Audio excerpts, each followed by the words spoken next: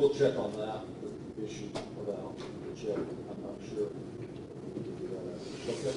Yeah, yeah.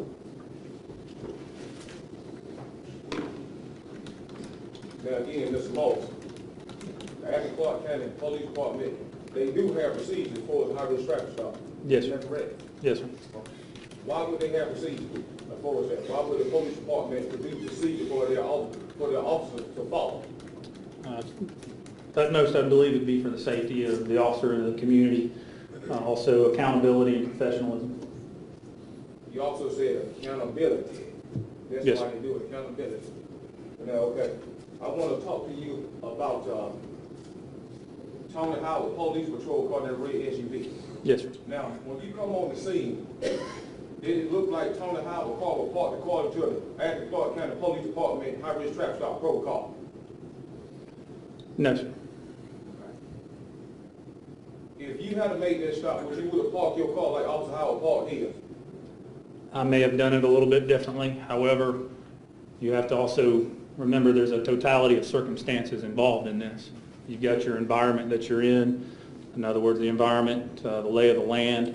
You also have, you also have the unpredictability of where the individual that you're trying to initiate the stop on stops as well. There's a lot of circumstances involved as far as where Officer Howard's car is and where that red Suburban is. And I don't have all those facts and circumstances uh, to my knowledge. I don't have the ability to tell you whether or not his stop was according to our policy or not, based on the totality of circumstances at hand. Honor, if, if I may, I would like to show Mr. Moss State Exhibit one fifty, one fifty-two, sir. Alright. Um, I'll put, we'll have to locate it. A picture? Yes, sir. If you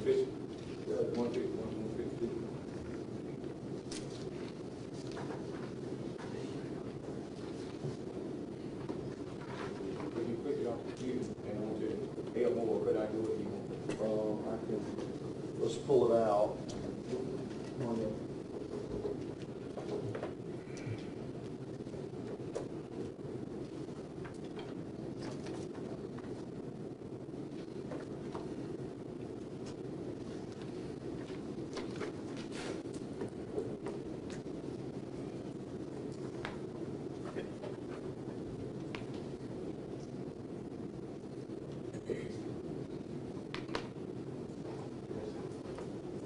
Well, you want to, I want to put it. well, he needs, to- Okay, six, right, okay. well, I'm not sure. It's been introduced, so. Okay, you can have it.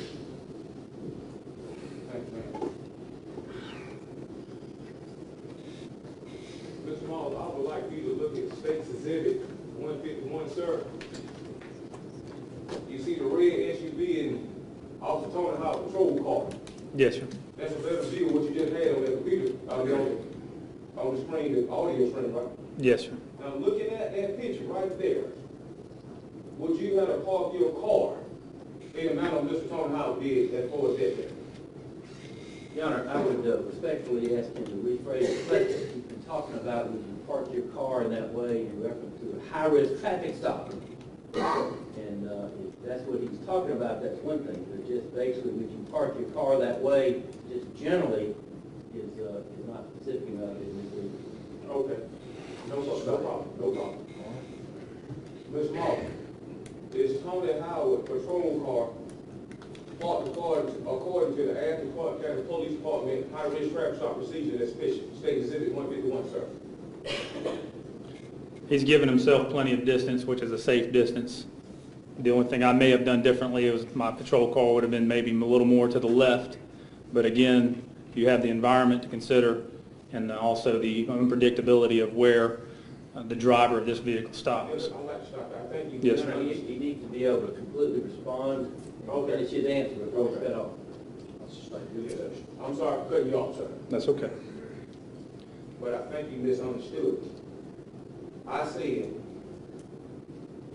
is Officer Tony Howard patrol car parked according to the Athens Clark County Police Department high-risk traffic stop protocol, and states Exhibit one fifty-one. Uh, He was answering that question and uh, was proceeding to answer that question that was already asked, so it's already been asked and answered. He was answering that and he was cut off in the middle of that. So I'm gonna allow him to finish answering the question. Yes, sir. As I was saying earlier, ideally, no. However, you're looking at a policy that says everything is in a perfect working order, which that is not the case with life. Everything can be unpredictable. That's a totality of circumstances. Um, That, our protocol and our procedure, as he's stating, is something that's there. That's what your ideal traffic stop should be like. However, the environment, the unpredictability of where the person stops their car may change that to some degree.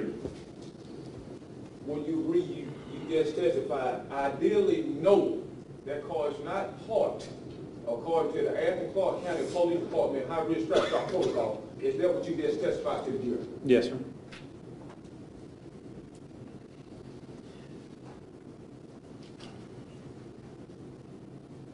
Would you agree that you have a, a procedure for officer safety? Yes, sir. Would you agree that the procedure is also for the safety of any members of the public who are around? Yes, sir. Would you agree that you are to follow the procedure as often as you can so that the public know you are engaged in official public business? As often as you can. Yes, sir. And is it, and is it also important to follow recognized procedure when confronting high-risk suspects as I believe as a carjacking suspect? Is it especially important to follow those procedures to protect yourself and the public? Yes, sir. No further questions, sir. Turn the lights back on, please.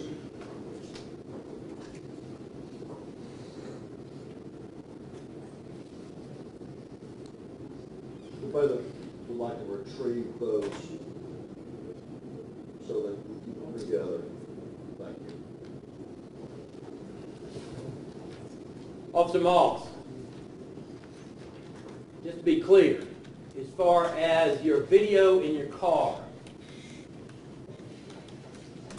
is it always recording until it's activated one way or another? Yes. And when you activate it, what does it, what does it actually save on the hard drive prior to your activation? The 30 to 45 seconds of time. Does it save more than that? No, sir.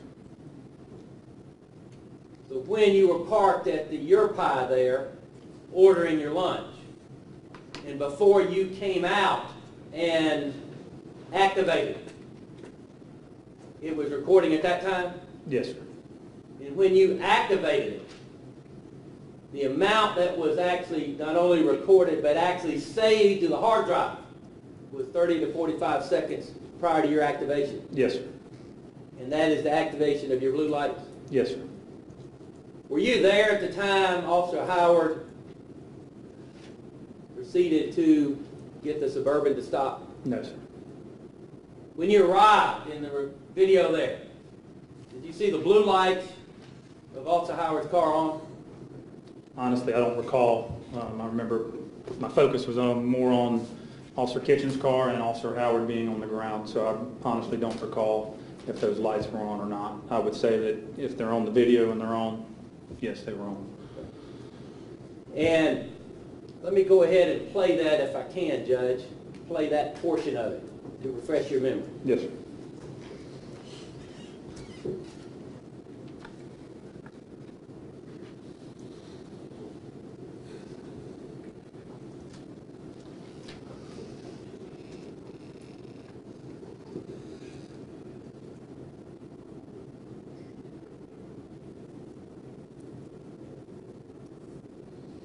That has the laptop light turned on, Judge. There you go.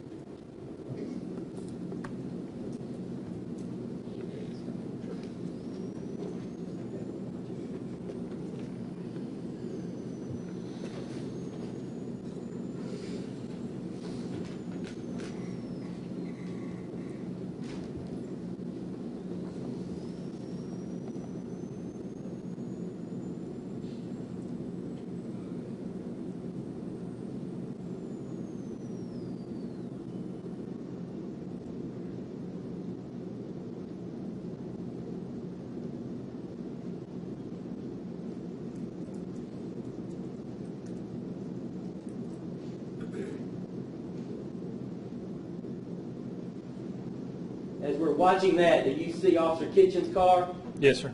You see the blue lights going? Yes, sir. You see any blue lights going on Officer Howard's car? No, sir.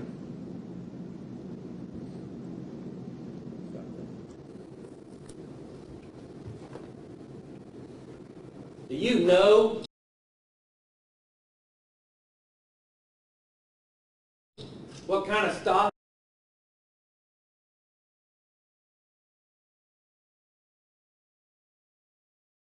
that Officer Howard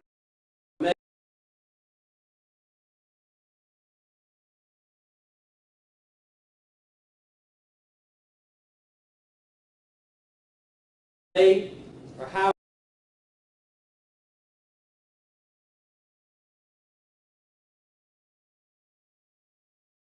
Uh, My job is mainly just to get out of the car and walk. Um, what you want to do is like bridge together with communities, um, with their the citizens, just to show that we're not, you know, that we're transparency. And that was my job. How long were you in that weed and seed program? Uh, from 2005 uh, until 2011. And uh, as far as the uh, weed and seed program, was that funded some way federally? It was a federal, federal uh, grant, yes it was. And as far as during that time, were there different areas in the community that you may pay particular attention to? That Uh, was your some- responsibility or weed and seed program responsibility? Uh, the areas I can recall was like Pardo area, uh, Broad Acres, Rock Spring, uh, Biddle Street, Hancock. Um, then you also had the old Weed and Seed areas, areas that we were responsible for, like uh, the Netherby area or the Iron Triangle, um, Triangle Plaza, um, Parkview, and different zones of Athens, Clark County. Okay. And uh, were you assigned to a particular precinct, east precinct or west precinct, one way or another? Uh, I was assigned to the East Substation, which is located on uh, the Triangle Plaza. It's on Fairview Street. And even though you were assigned to the East Precinct, did you respond and uh, have responsibilities at times throughout the county, east and west? Yes, sir. And tell us about that, if you will. Um, we, like I said, we were just only assigned to the east precinct, but our main area was the west side of town. Um, I would- like I said, would patrol Broad Acres and the area surrounding Rock Springs, uh, which include Baxter Street, uh, Honeysuckle Apartments, uh, also Cottage Place Apartment, uh, Sycamore Drive, uh, Parkview area, those type areas. And in March of 2011, were there other officers who were working in that program with you? Uh, SBO Jerry Johnson and Lieutenant Patterson. And uh, Jerry Johnson, are you related to him in some way, sir? Uh, we brother-in-law. Now, in addition, during that time when you worked, uh, during shift change in particular, did you respond or have a chance to assist other shifts in any way? Yeah, at times, um, when the shifts are short, um, the supervisor will call, our supervisor will call us and, and say, hey, could y'all help us out, because we short. And we would go take control of the zone, work the zone, or we'd just back someone up if need be. How about during shift change?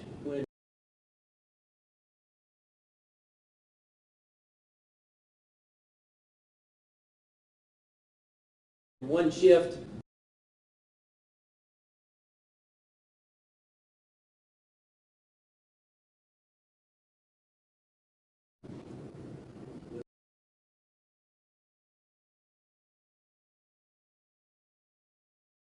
Leaving.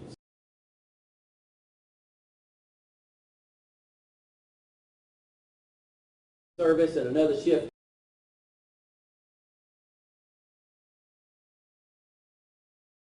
coming on. Other folks may have been gathered at the precinct. Did y'all have responsibilities perhaps? That was almost automatic, you know, when the shift changed, you had to keep your eyes and ears open and listen to the radio. A lot of times dispatch will automatically call you and tell you to go catch your call until someone come on to relieve you. And did you and other officers at times attend briefings uh, before service? Yes, sir. Before, uh, on different shifts? Yes, sir, yeah. And why would you do that? Well, you also want to get updates. A lot of times we don't get updates. We receive them So we'll go to the briefing updates and get different things like ball, be on the lookout for this person or that person, in and auto suspect, burglary suspect, people that have warrants on them. So we want to be updated on the information in case we come across those people. And from the time uh, you got to the department, Athens Clark County Police Department in 2004 until you were assigned to Wheaton in 05, what did you do? Uh, I was assigned to, uh, to a shift, to the chin shift. Patrol, uniform patrol Yes, sir, west side. on the west side? Okay. Now, where are you originally from, Athens, Clark County here in Athens. And uh, you went to high school here? Yes, sir, I went to Clark Central High School, uh, graduated in nineteen eighty-five. Did you play any sports there? Uh, football. And are you married, sir? Yes, sir, I am. And uh, how long have you been married? Uh, I've been married since two thousand and three. And what's your wife's name? Shanice Howard. And do you have any children at all? Yes, And how many children do you have? we have four boys. Okay. And uh, are any one of those uh, your and Shalice's uh, child? Yes, it is. And uh, who is that? His name is Destin Howard. And the other three, are they yours by another marriage or her by another marriage? It is correct. I have two older kids from previous marriage and also have a stepson. Okay. Now,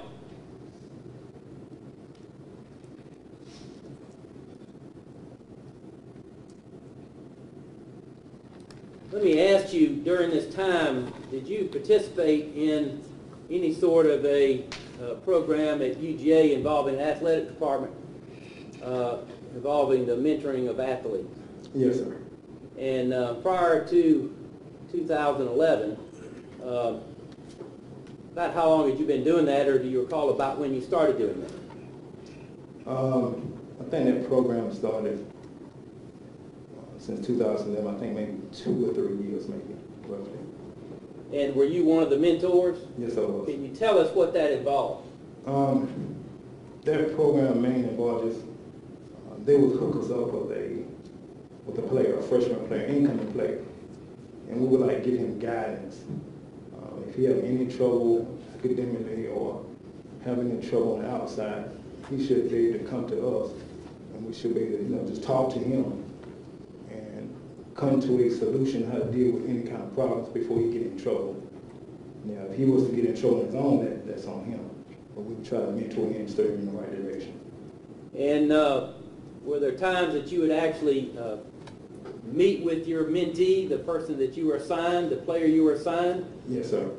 And tell us about how that happened. Just meeting to talk to them, or did y'all do different activities together, or what would you do? Well, the players, we have to, know, the players, we may have text them. They don't like to talk on the phone too much, have to text them. Um, sometimes you could, you could meet with them. You would have to give it to UGA staff and say, hey, I want to meet with my mentee. And they would set it up and you would meet them. And did you ever uh, meet them for dinner and eat, eat dinner with them? Every so often, yes. Now, let me go back to uh, March of uh, 2011. At that time, did you know a person by the name of Jamie Donnell Hood? Uh, knew of him. And when you say you knew of him, explain that just a little bit.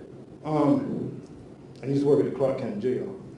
Um, I just knew of him vaguely, just hearing his name, and maybe seen him once or twice, but that's it. You see, you see so many people come through the jail, you book them in, you release them, you transport them, um, you do yard calls, uh, head count, roll call. You see so many people come through there. And do you recall uh, having any real significant or memorable contact with him at all? Not at all. Okay.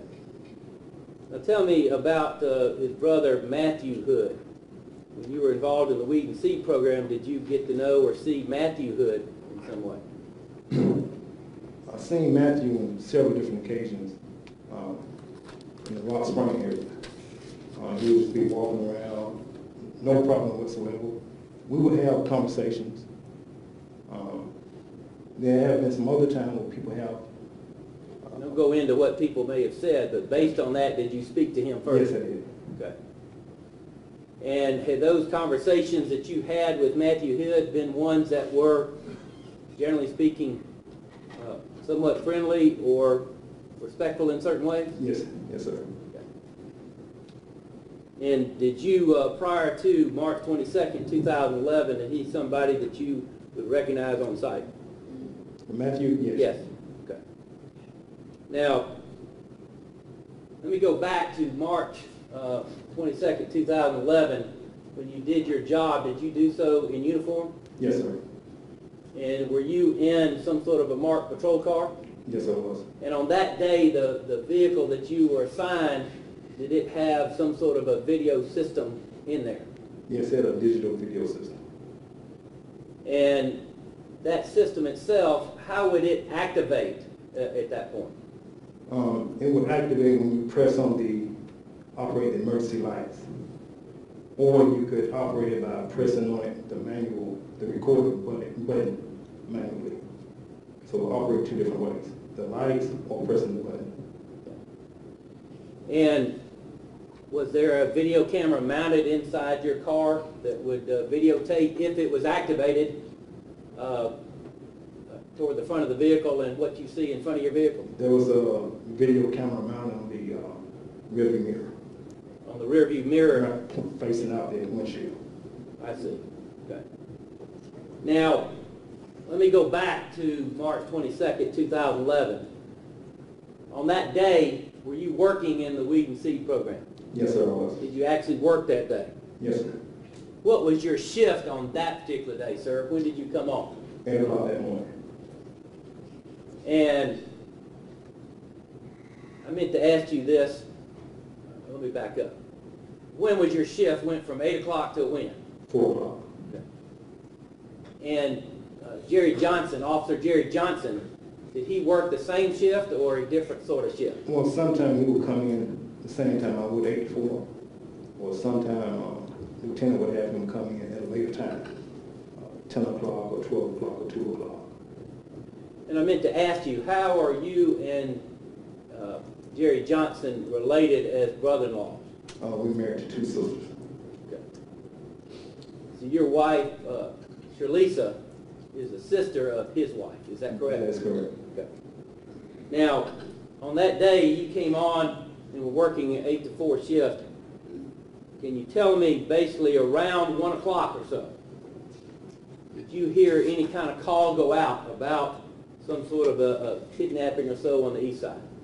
Um, there was a call come on the radio about dispatch. Uh, so Bolo kidnapping. Um, normally when they do a Bolo, they'll do it east side and west side. Um, and they also said they're on the lookout for Jan Hood. So I was already on the west side. So what I did at that time, I put on my car computer, my MDT, What is MDT? um, it's the car computer which give us IDs. Um, also dispatch can send us calls on the computer. Um, we can also look for uh, mapping information. Uh, we can write reports. We can do all that on MDT. Um, so what I did, I typed his name in on IDs to see who James Hood was. Um, I had an idea, I didn't really know. So I put it on, on IDs and his picture popped up. So I did that to see who I was looking for, who they said would be on the lookout for. And basically following that, did you have some sort of an area that you may be looking at? Um, they advised to be in it, be on the lookout area of Sycamore Drive, Cascade, apartment complex in that area. And so after retrieving that information, either from your MDT, your, your computer in your car, or uh, from dispatch or both, what did you do? Um, at that time I went toward that area and just, um, riding around, see could I see him, you know, in the area. And when you say you're riding around, did you go down Sycamore from Broad, or did you get to Sycamore some other way? Uh, from Broad Street. And as you went down Sycamore, can you tell us basically what you did, whether you saw any other officers, or, or what did you recall? Uh, there was a number of officers in the area, combing the area, just like I was, just looking for him. Um, I cannot tell you how many officers it was, it was a lot of officers. And we just riding down through apartment complexes, uh, Cascade, Timber, eight, Timber, I think Timber Apartments, Timber Chase? Timber Chase, um, River's Edge. Um, we just riding there looking, looking for him. And uh, at that time that you were riding through, did you, or any of the officers alert you that they saw the defendant Jamie Hood? None at that time, we didn't see him for, I think that went on maybe fifteen minutes maybe. Uh, since we didn't find him, and it was already close to shift change, we all went ten eight, go back in service. So we kind of figured he wasn't in the area, and we all left. And where did you go? I left the area myself. Um, I went back up Broad Street in the area of, um, the Omni Club. And as you come out Sycamore onto Broad Street and heading back toward Alps Hawthorne intersection there, the, uh, the Omni Club, is that a fitness center? It is, it used to be the old Kroger's shopping center. And is it on the right, not too far from the intersection of Sycamore and West Broad? It's on the right-hand side of the red light. Okay. And did you go down into that area? Yes, I did. And uh, what happened as you were down in that area of that parking for the Omni store, or Um, Omni uh, Club? I just went down through there and just sat there for a few minutes, I can recall, and, um, and then dispatch, they gave me a private call. And a private call is when dispatch contact you personally, no one else can hear the call. And they advised me to go back down to the area and look for a Cadillac, a brown Cadillac. Uh, I guess they did that because it was close to shift change, they didn't want to get anybody else involved. Um, So I went back down to that area. And uh, uh, when you did that, you got back on the Broad and then turned left on the Sycamore and went down in there? That's correct. And at this time, sir, tell us what happened as you went through there. Who'd you see? And What Um, happened as best you can recall at this point? When I left the area, I went, got on Broad Street, uh, turned up on the Sycamore, went down through there, and I saw Jerry Johnson, Esfield Jerry Johnson. And um, I told the dispatcher, give me a call, look for this Cadillac, brown Cadillac. So at that time, I told him, I said, well, if you turn in the Cascade here, to your right, I'll go down Sycamore, we'll meet at the end. Um, At that time, uh, there a, it was a red SUV coming out of River's Edge apartment. It was turning left onto Sycamore. As I was passing, I looked up and I saw Matthew Hood. Um, I don't remember how I told him to stop. I don't know if I just motioned to him or yelled out the window and said, stop.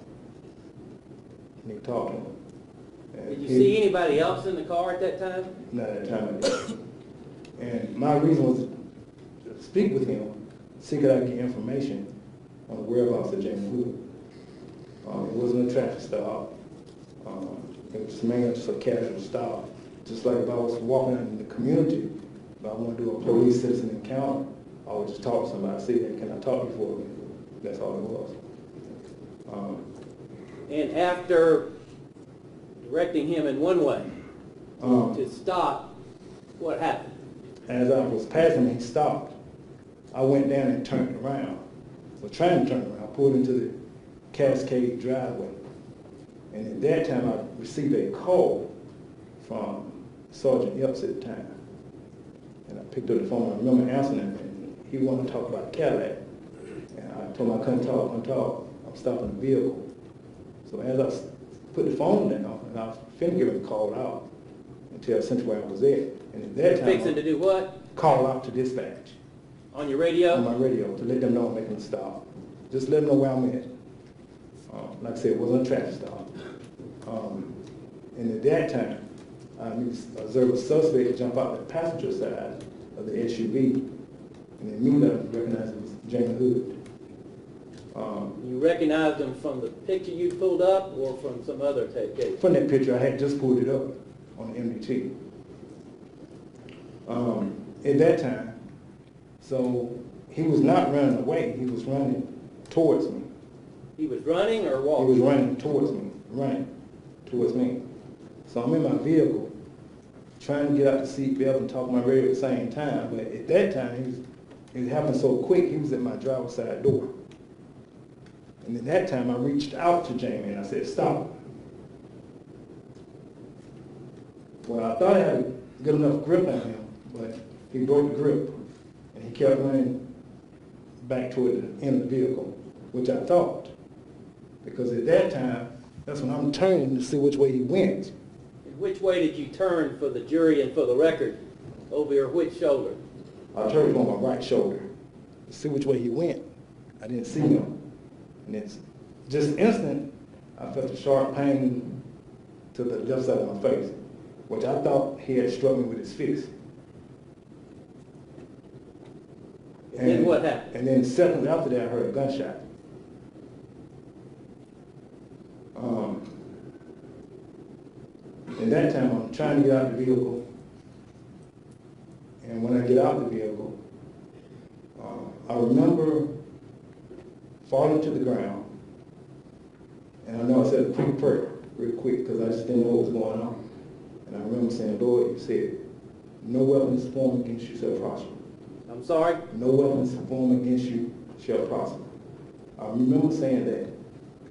Um, I remember that I couldn't breathe out my nose. I only could breathe through my mouth. And I heard Gerald Johnson come up and said, Tony, stay down, stay down, don't get up. And that's basically all I remember.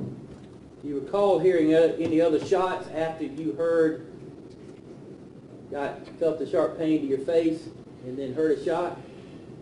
I only recall, I think, it was one shot at the time. You don't recall hearing any other shot? No. And when Jerry Johnson uh, came up to you and told you to stay down, what else do you recall at that point?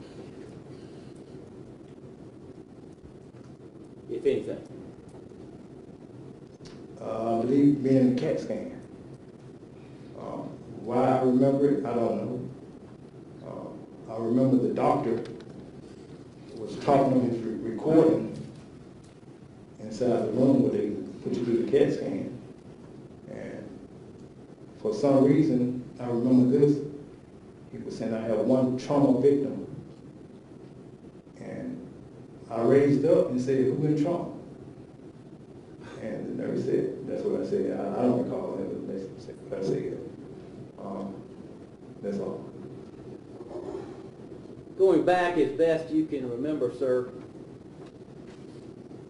when you were proceeding to Radio In, you said you saw person get out of the passenger side of that SUV. Is that correct? Yes, sir. At what point did you actually recognize that being Jamie Hood, and where was Jamie Hood at the point in relation to your two cars? I recognized him when he was in the, the front of my vehicle. Between my vehicle and the SUV. I mean, that's how quick it was. He was not, like I said, he was not running away from me. He was running towards me. And when he was running, did you see basically how he ran in relation to your driver's uh, door and window? He ran from the front of my vehicle around to my driver's door. And that's when I grabbed him.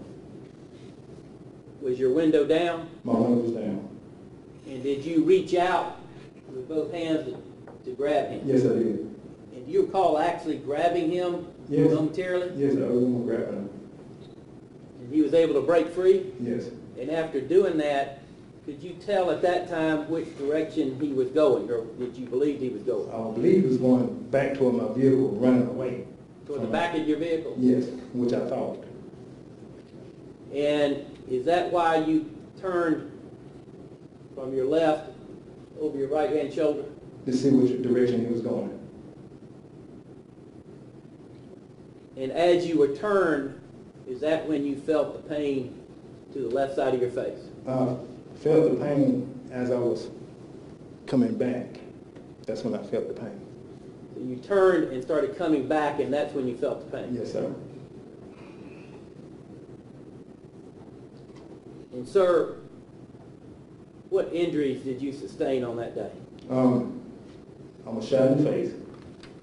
Um, I don't know if you all can see them, it's an indention right here in my face. Um, And the bullet exited on this side of my face. Um, I was also shot in the back. Uh, The bullet, it went up under my vest and exited here. Your Honor, may the witness step down and demonstrate and show more closely to the jury exactly the spot that he was shot, that indentation in the exit.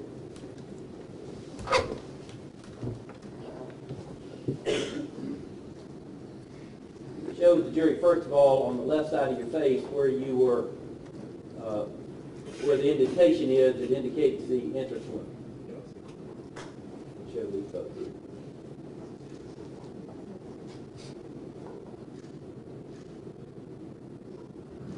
And now turn and show the exit wound, if you will, of the location.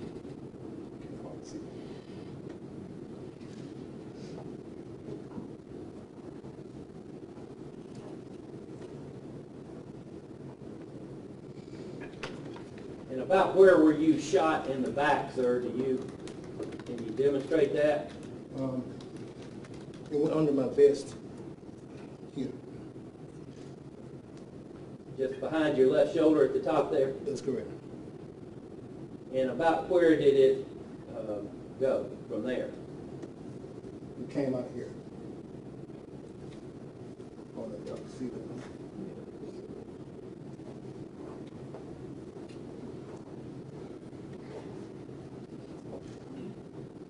Thank you, sir. If you take a stand, with the honor permission.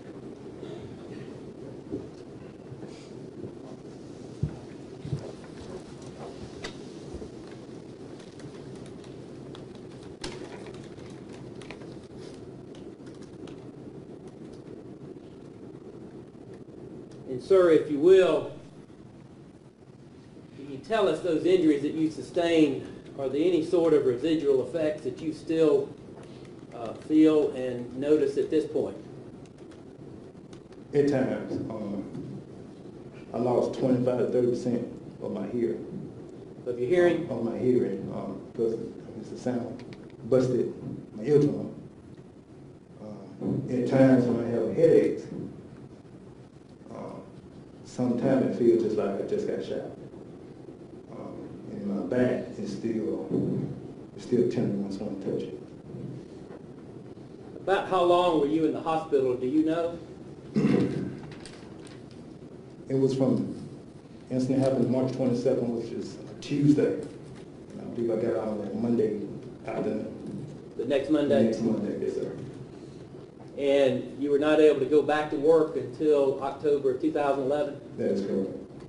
And from that time, you moved into a different assignment, Which is pre-employment background investigation. which is what you're doing now? Yes, sir.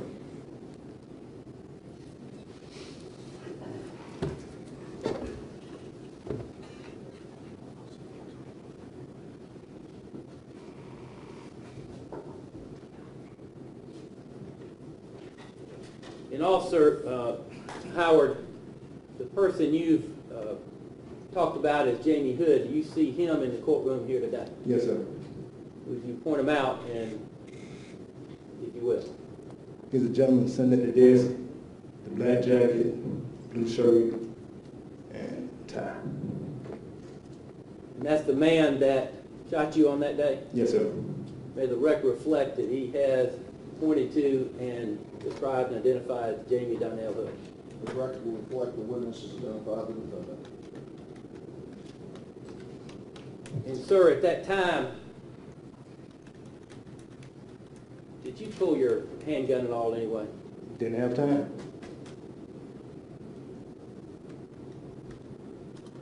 And at that time, do you, re- never mind, I'll strike that. Thank you, sir.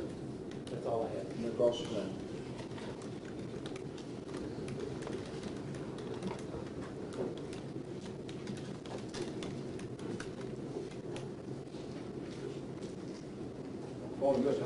Morning.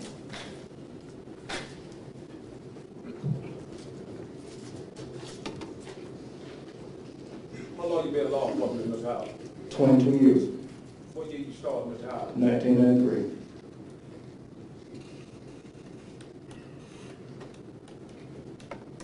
During your time in law enforcement, have you ever been suspended for getting false statement and doing administration Mr. Moss, there's investigation? objection.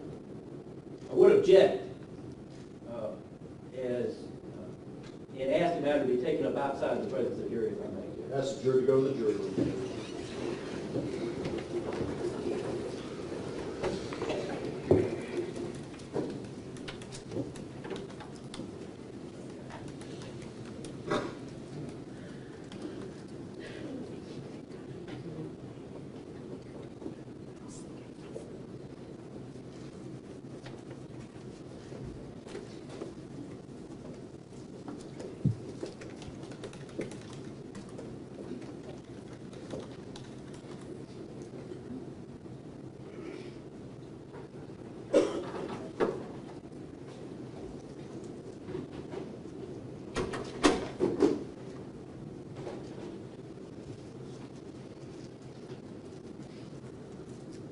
Yes.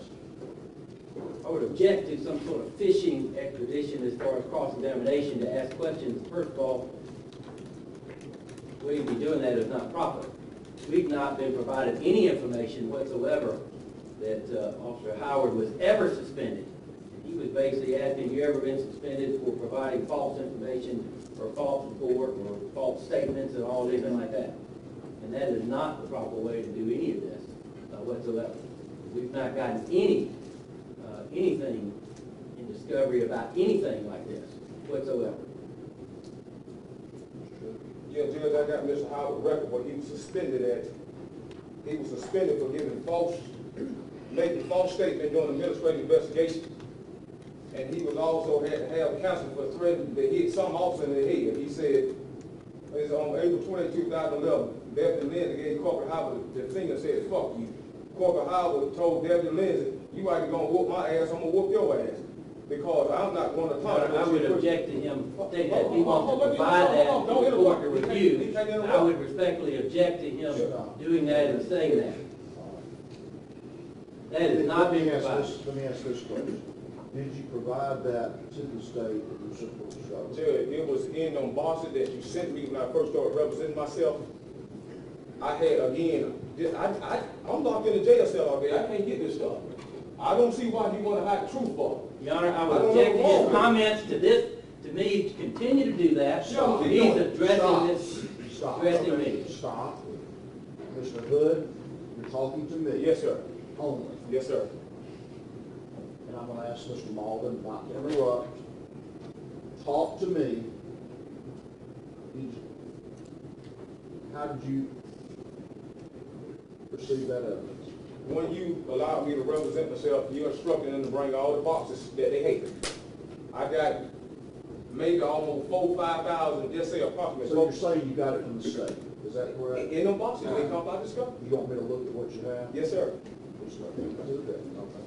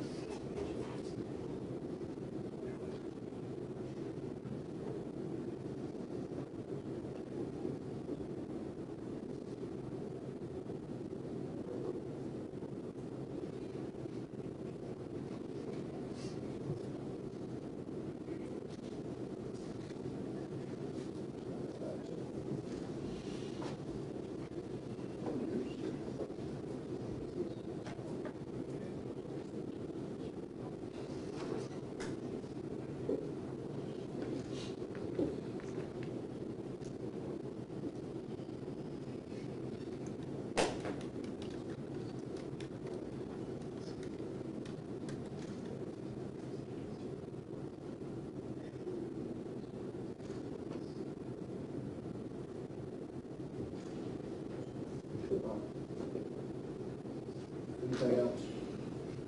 I'm waiting on you. I showed them to you, I got them out the box. I'm gonna let Mr. Mauldin respond, I'm gonna ask you to not say anything until I look back at you, which I just did. Yes, sir. Just wait. Yes. Judge, we've not been provided this at all.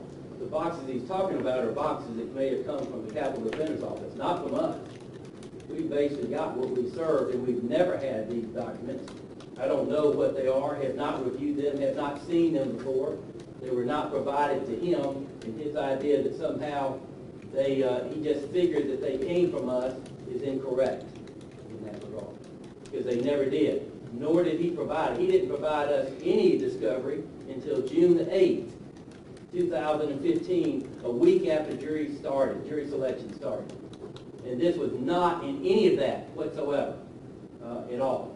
This was not provided, we haven't reviewed it, we haven't gone through this.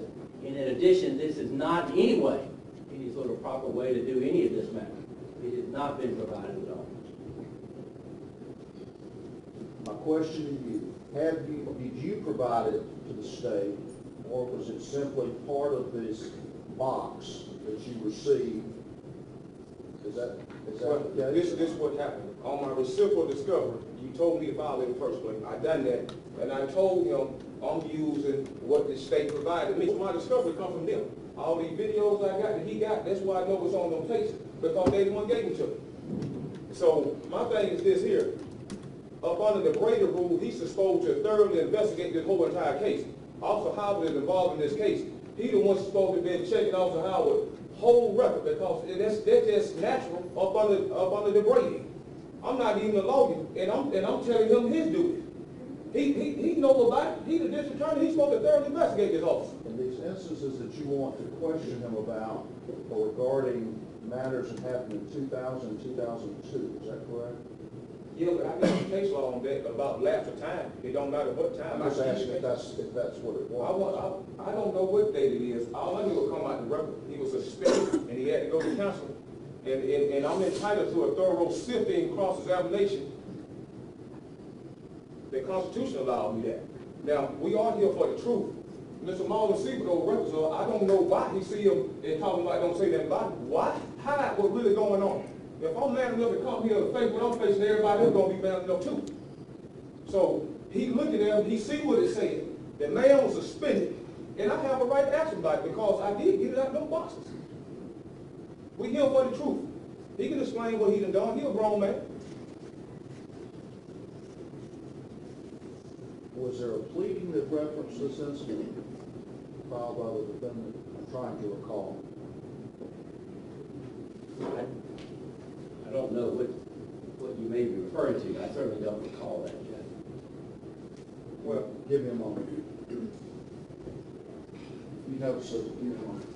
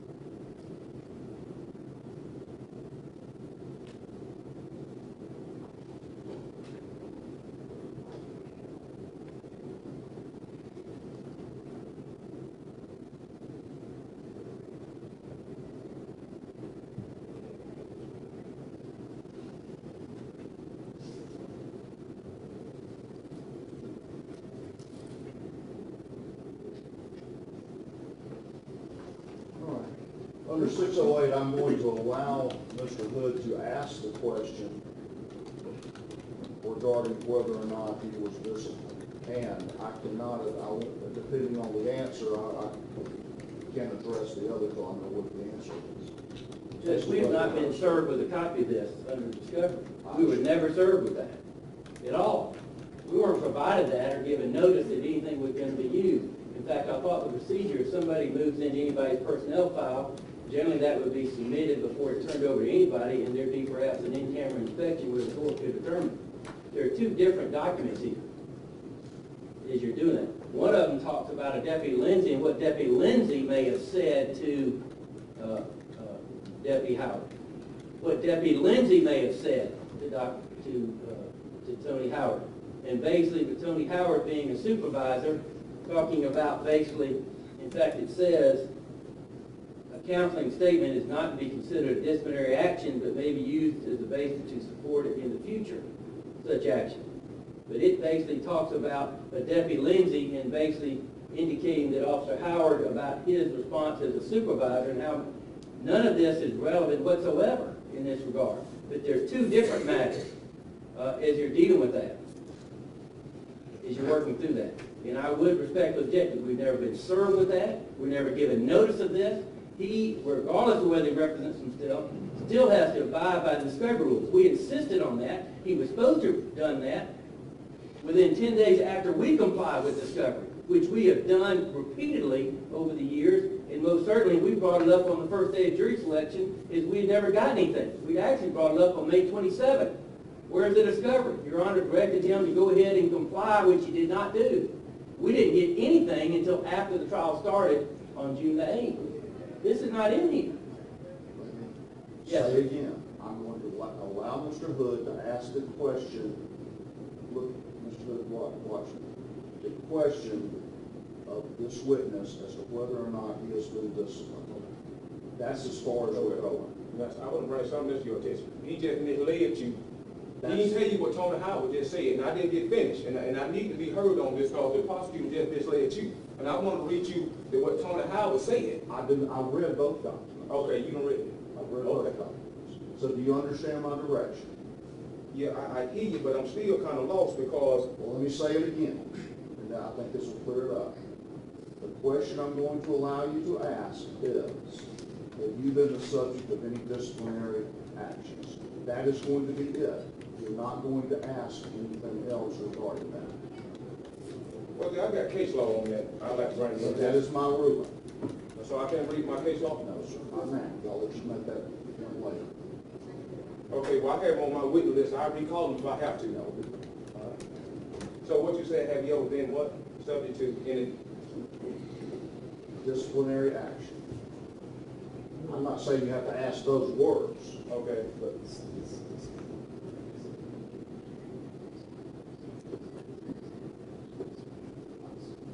well, how about the word suspended? disciplinary actions concerning false statements. Okay. Have you ever been, what word you said, I want to use in your text. Disciplinary actions concerning false statements.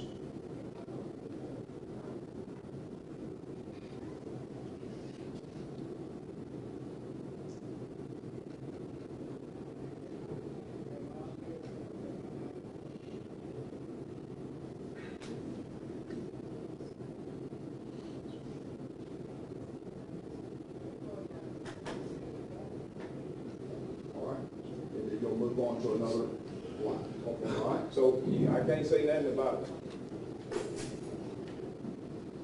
So you telling me,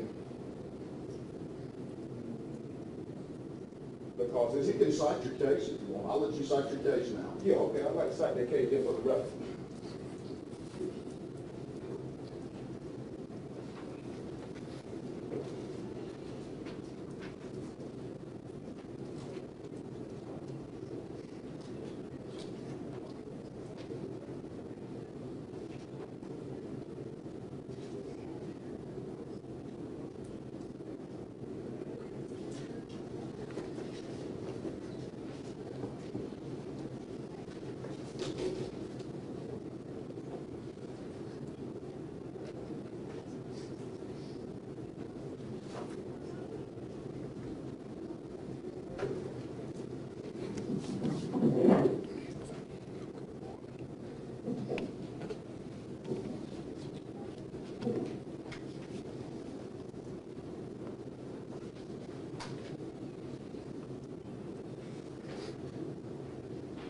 I'd like to cite State versus Hodges, 291 Georgia, 413, 2012.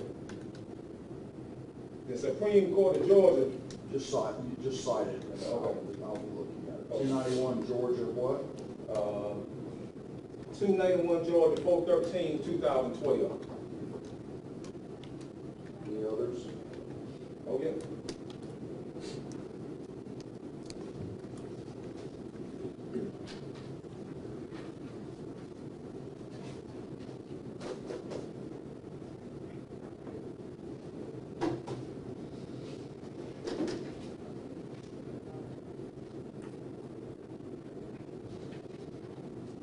I'd like to cite, I mean, uh, cite U.S.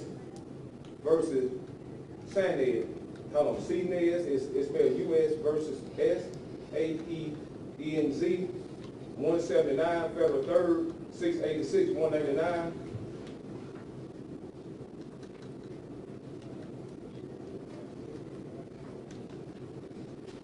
I also like to cite, state, cite Milton versus State, 245 Georgia 20, 1980.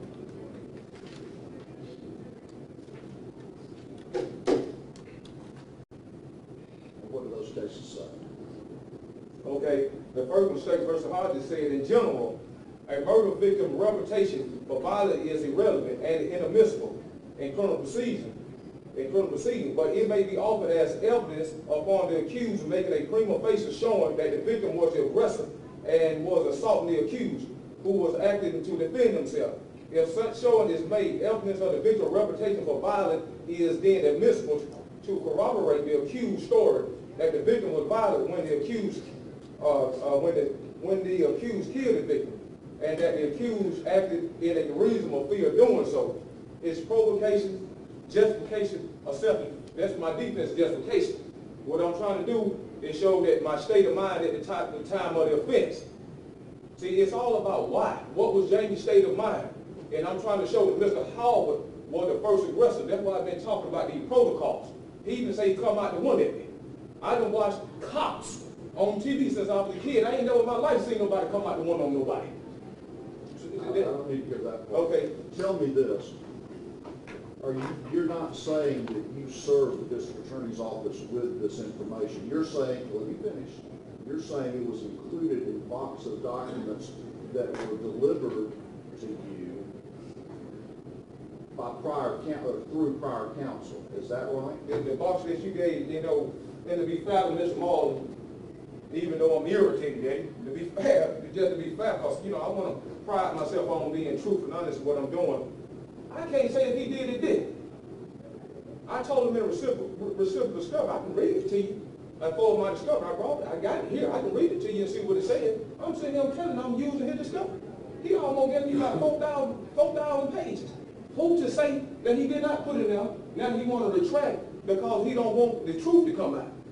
I can't say whether he did or didn't, but I know it was in them boxes, and I'm in a jail, and I couldn't have got it myself. But my question is, you can't say if it came from the I, state. you know, I or if it can't, I couldn't, Judge. I mean, I'll be lying to you. I couldn't do it. I couldn't, I couldn't honestly say that. All right. So, anything else we need to take up before we bring them back in?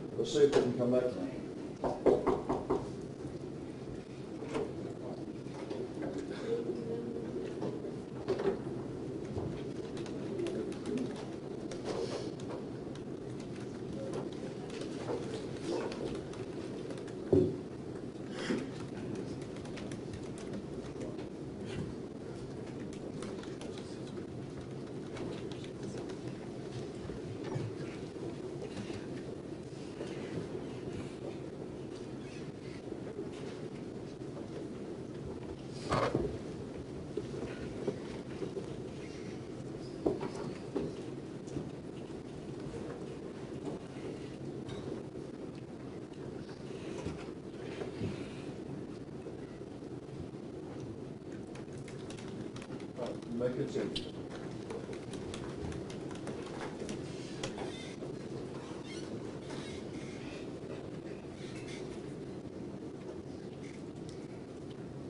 Again, Mr. Howard, when, when did you start working for law enforcement, sir? Nineteen ninety-three. Nineteen ninety-three. Uh, Mr. Howard, have you ever had any disciplinary action concerning any false statements? I have been, yes, Um, and you were working at Athens Clarke County Jail, sir, that what you started off at, in nineteen ninety-three. nineteen ninety-three. Uh, you recall seeing me at the Athens Clarke County Jail, correct? Say the question one more time. Do you recall seeing me at the Athens Clarke County Jail when you worked as an officer at the Athens Clarke County Jail? I can't say if I did, I can't say if I didn't. I thought you told me, the jury a while ago, you remember seeing me at the Athens Clarke County Jail. Again, vaguely. Okay, I see so many people come through there. But you did say that, didn't you? Earlier. Well, why you just- Exactly, exactly what I just said. Okay. Mr. Howard?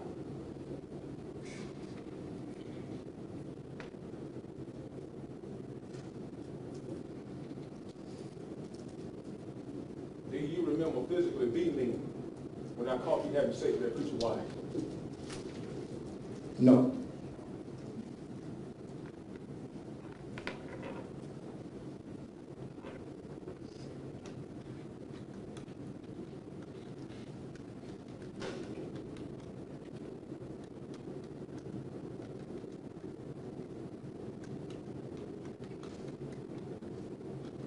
Did you have an affair with the preacher wife? I I would respectfully object to that, that's not appropriate at all. I'm going to sustain that objection. Yeah, I will be heard on that, because it's, it's, this what happen. it's, it's, this, this firsthand experience is not going no hearsay.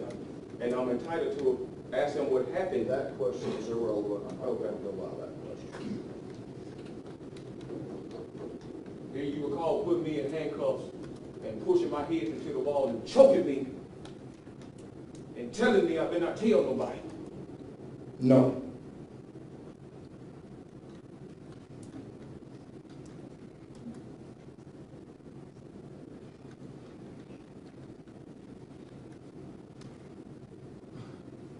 Have you ever bragged about beating me at your daddy's car shop?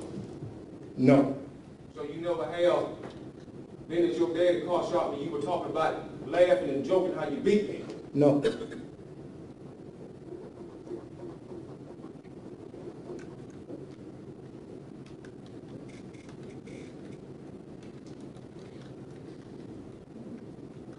Do you have a stepmother named Miss Aileen Howard? yes, What if, what if, what if I told you Miss Aileen Howard told the Your Honor, GBI I would that you beat me? object to that hearsay. I'll respond to that. The objection's hearsay. Is it hearsay? I'm I would ask him, I would ask him, well, I guess it is a form of this one. I sustain the objection.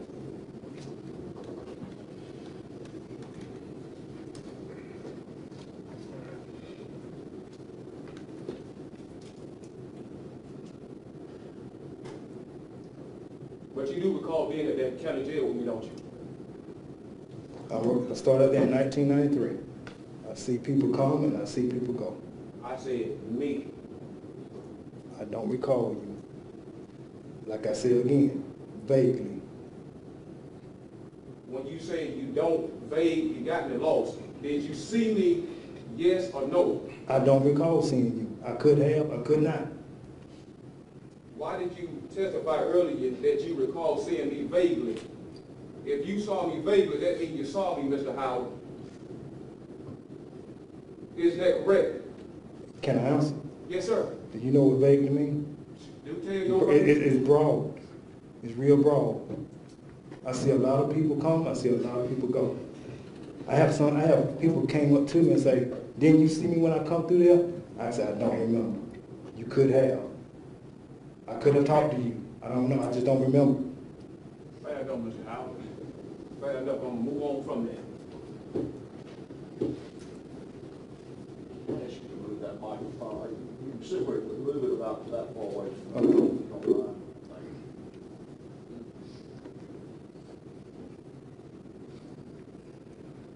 you. Ms. Howe, you stated you worked for Weed and Seed.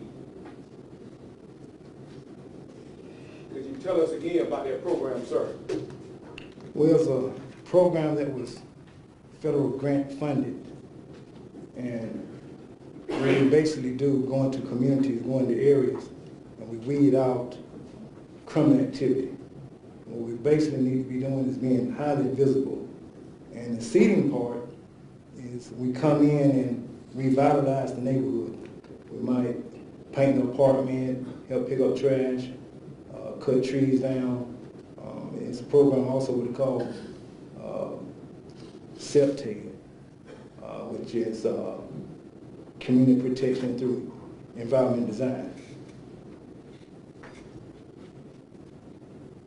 Ms. Howard, you stated you worked at high crime areas in Weed Seed, correct, sir? Yes, Okay. You stated you worked in a project called Pauldoe, correct, sir? yes. Tell us about your working in Uh, Mainly what I do, I park my car in Paulding, and I get out and walk in the community.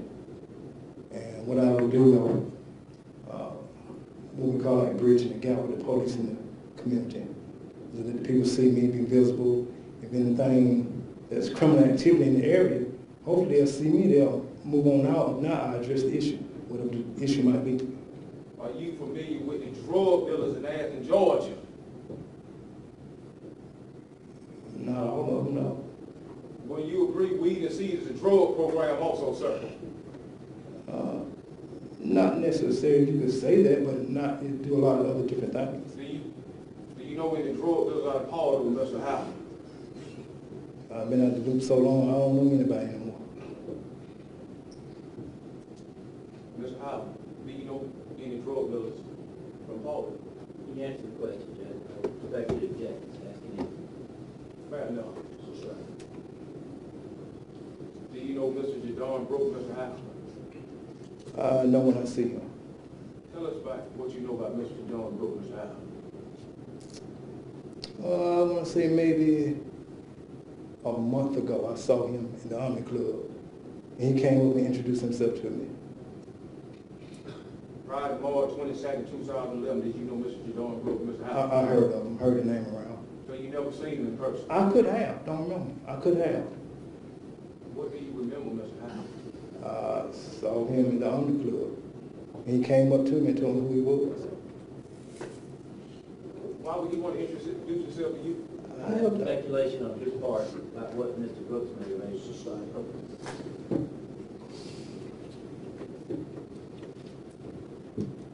You say you did work Pauldoe. Are you familiar with Jadon Brooks selling any drugs out called Pauldoe? I just, he just came up to me and introduced himself to me about a month ago. How about Mr. Kenyatta Campbell? Do you know him to sell drugs in the area of Pauldoe? I've heard. You heard, tell us what you heard about that drug dealer. All that's hearsay. To the extent of the hearsay, that's the same. Okay.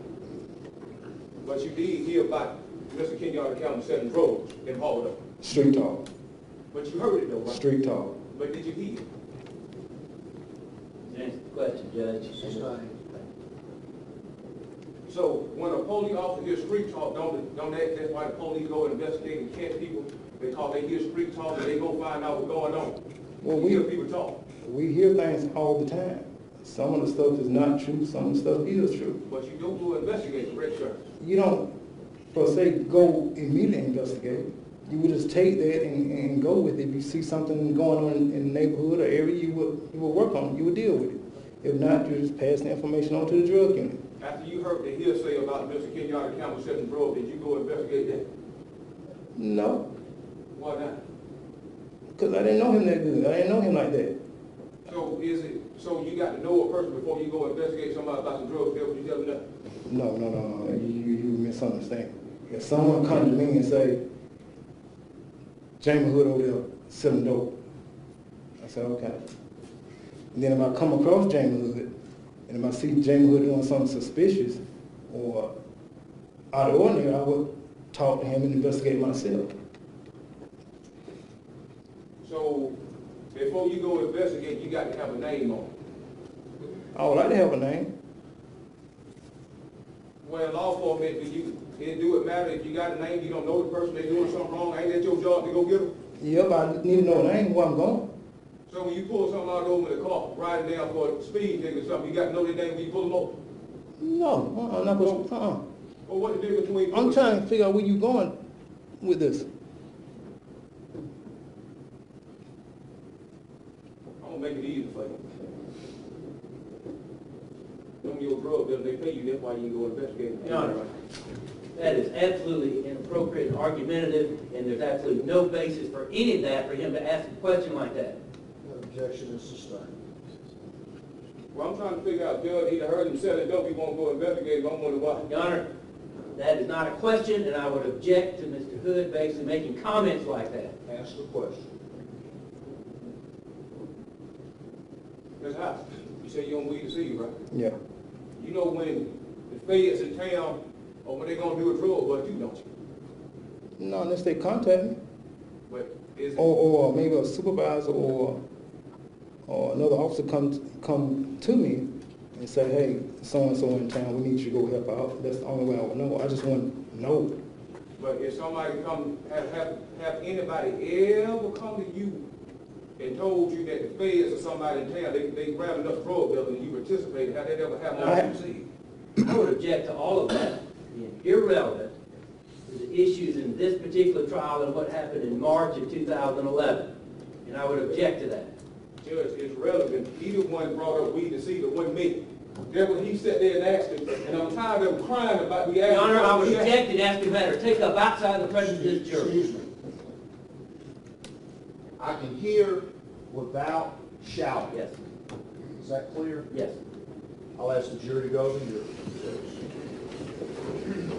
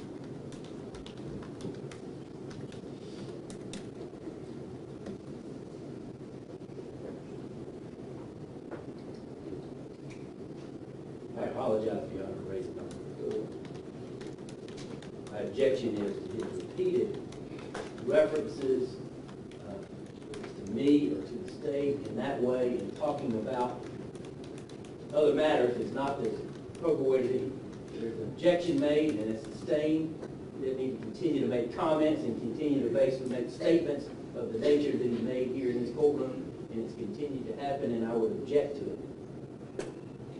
You understand his objection? Judge, I understand, I understand it to a certain extent. Okay, let me, let me explain mine. What irritates me, he's sitting here and he asking me, I'm sorry, you right, I gotta get that. What irritates, that's the problem. yeah, you're right, look, you're right. What irritates me is, he getting up here on direct examination and asking them questions, and when I come behind him, oh, Judge, Judge, he can't say that. If he open up the door, I'm coming in real hard. See, the reason why I'm saying that, I've been trying to tell folks for four, five years, that's why he just tried to run to the Supreme Court on you. See, I, I mean, this, this. That's not relevant to Yeah, what we're Okay, but it, it's kind of relevant because he keeps trying to stop it.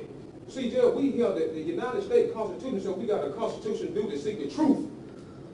That was his oath is as a prosecutor. See, I'm here for the truth. Unfortunately, for me, I had dealing with this man, and I know stuff the judge don't know, and he might know, but he don't want to get out. So my thing, I'm, I'm, I'm here for the truth.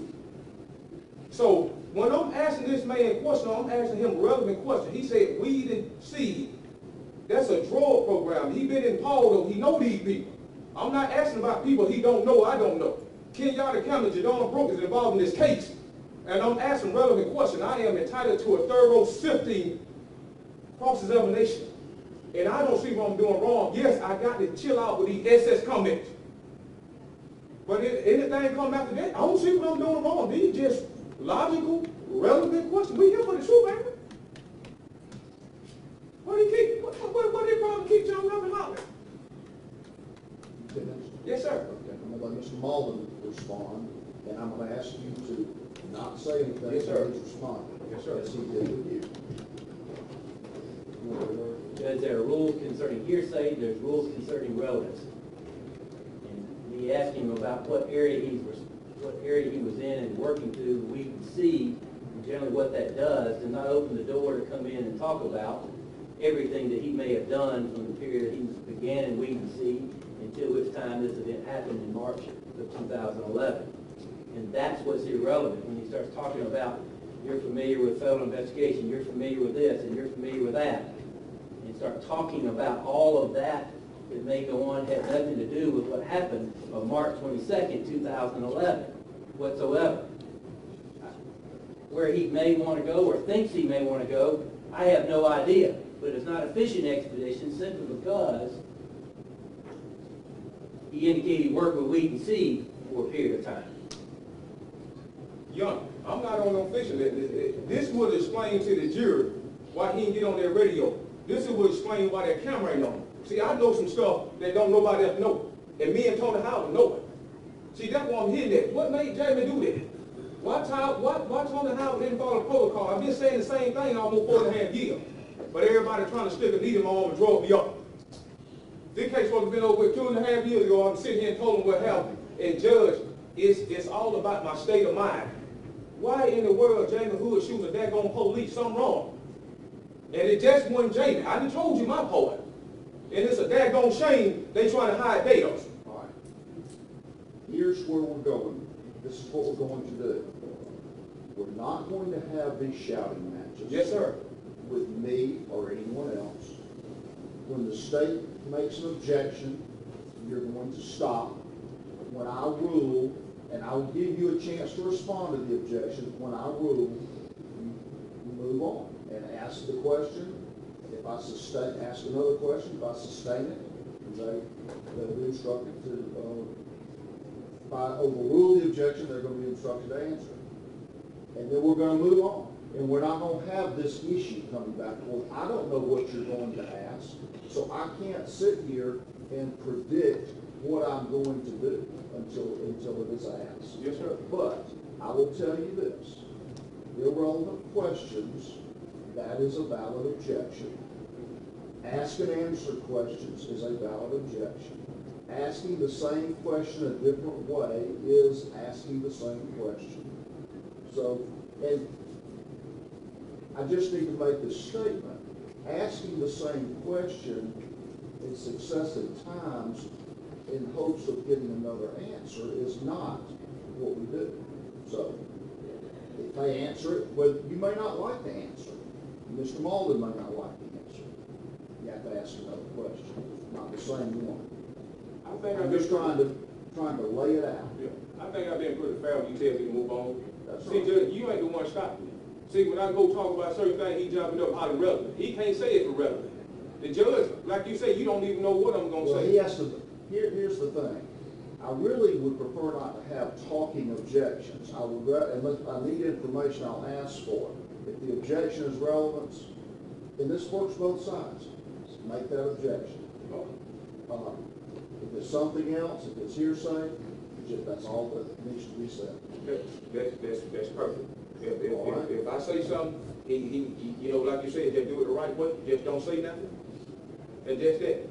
I'm gonna do better on my behalf. But as you know, I've got to, I've got Yes, to address it. Yes, sir, yes, sir. Any questions? That's All right. We ready to bring the witness in and the jury? All right. Ask the witness to come back in.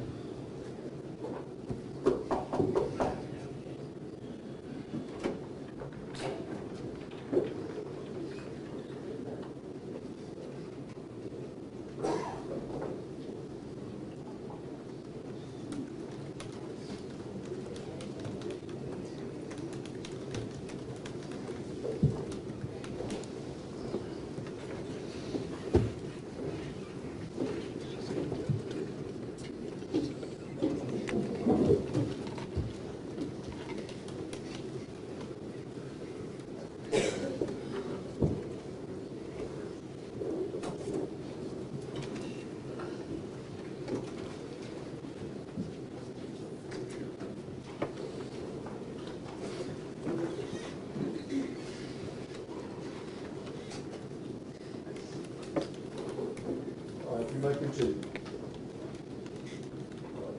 Good problem. Barry, you need water at all? I'm good. So, Mr. Howard, you want to Paul, Road, Rock Spring, Nellie B, you worked all those areas right there in Weeder City, sir. Yes, sir. When you agree that those drug areas, They were uh, high crime areas. so when them drugs on them areas, Yeah, the drugs here and there. have you ever arrested anybody for drugs? Have you ever made any drugs arrests? Yes. Okay. Now, you stated that you was on the phone with Officer Epps on March twenty-second, two thousand eleven, that correct? That's correct. Now, don't Officer Epps work for the drug unit? And you talking at that time, he was working for the, uh, I believe it was the crime emergency unit.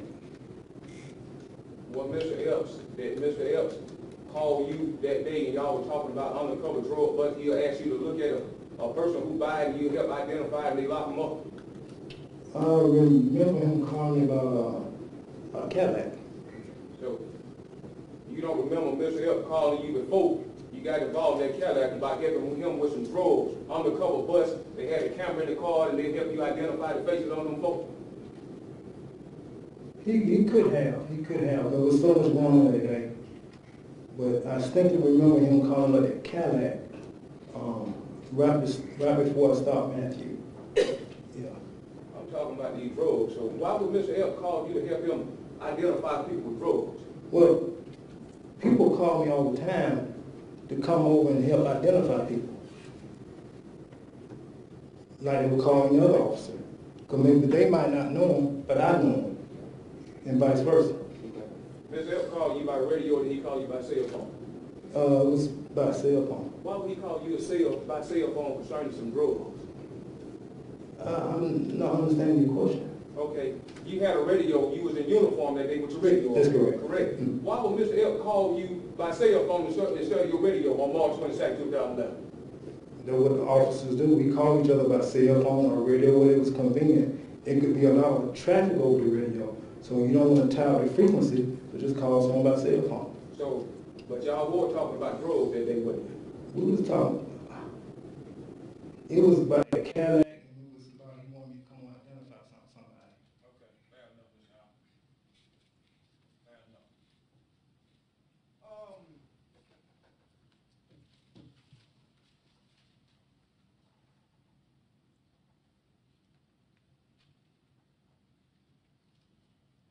Ms. Howard, in your time doing law enforcement, did you ever take a class called verbal judo? Yes. Could you tell me what verbal judo means? Um, verbal judo is, uh, is when encounter with someone, you could probably talk to them, and if the situation is, is, is pretty heated, you could use words or phrases or whatever to, to calm them down. That's basically what it is. when verbal ju, is, verbal judo is a class that officers taught, take to learn how to interact with the citizen in a rational manner. Is that correct? That's correct. Okay, but the class is consisting on yelling at people, how you talk, you don't yell or holler. Is that the purpose of verbal judo? Yeah, but you have also sometimes, or people will still yell at people at times, depending on the situation. Every situation is different. I understand, but I think you misunderstood. sir. I say is that verbal judo class is all law enforcement officers take it to learn how to talk to people from keeping stuff from blowing up because a police officer might deal with drunks, crazy people. The, the, the, the purpose of that judo class is learn, and teach an officer how to diffuse a situation to keep from blowing up. Is that is correct, but sometimes verbal you don't, don't always work. Yeah, but I'm talking about the class of why they give the officer, to teach the officer to do it the right way to keep this type of thing from happening. It don't, Is that right? it don't so much teach you as it let you know that's a tool you could use. But they do teach it to you, right? Yes. Okay.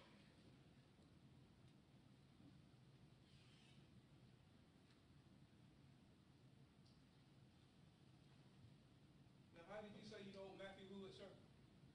Um, I knew Matthew the streets, from time to time, and And I believe I also knew him from, um,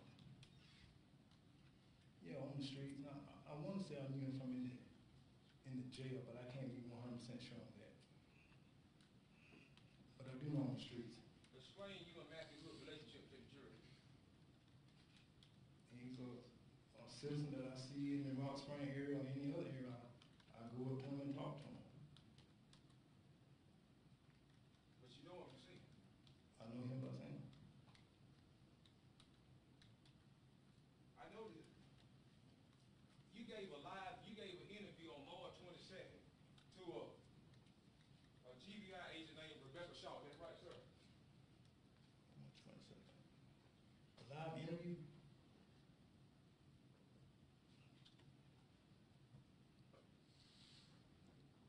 On Tuesday, March twenty-second, two thousand eleven, did you have an interview with Special Agent Rebecca Shaw? I know, I probably did, I don't recall it, could have.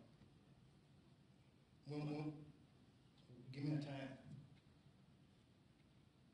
Well, I read to you. Okay. At approximately six thirty. what is, he asked for a time, I'm not going into it. On Tuesday, March twenty-second, two thousand eleven, at approximately six thirty, after this shooting incident happened, You out. Rebecca Shaw came and interviewed you, and they done. Just ask a Okay, question. okay, I'm just trying to help. On Tuesday, March twenty-second, two thousand eleven, at approximately six thirty, do you recall having an interview with GBI agent Rebecca Shaw? I don't recall at that time. Uh, You don't, you don't recall Ms. Shaw recording that whole interview with you?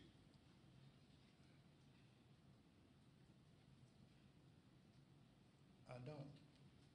Have anybody, the DA or the chief of police, have anybody ever showed you that interview that you had with GBI agent Rebecca Shaw? Told I did, but I don't personally remember that. Okay. You were told you did, when they told you that you had an interview, did you, That has to be a question. okay, did you review the interview that you had with Rebecca Shaw after whoever told you that you had the interview? I believe that, yes, yes, So you do recall listening at the interview, your interview? yes. Okay.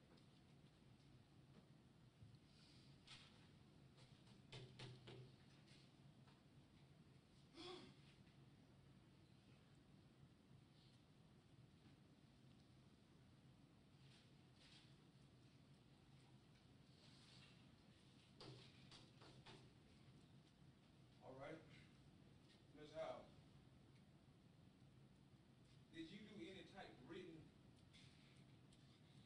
supplemental statement on this, in this case? No, Have you ever been involved, well, have you ever did a written report on the case? no, So your whole time as officer, you ain't never did no written report on no case you had? yes, but not on this case. Why not? Number one, I was the victim. Number two, I was in the hospital. And at certain points and times and days, you had to have a, a written report or whatever submitted. But I was in the hospital. So after you recovered, sir, you didn't have the prosecutor here or the chief of police a- ask you, hey, could you give us a report of what happened that day? No. Because I believe the, uh, someone came and talked to me while I was at the hospital, I just can't remember who. May I know, Ms. Howard? Okay, Ms. Howard. On third month, on March twenty-second, two thousand eleven, what police station were you working for? Athens, Clarke County Police Department. East side or west side? I was Weed and Seed,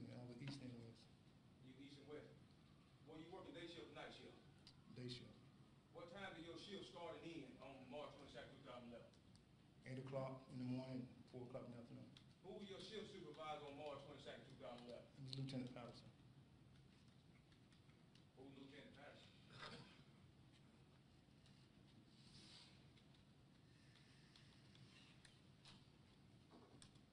What police patrol car were you driving on March 22nd, 2011? 176.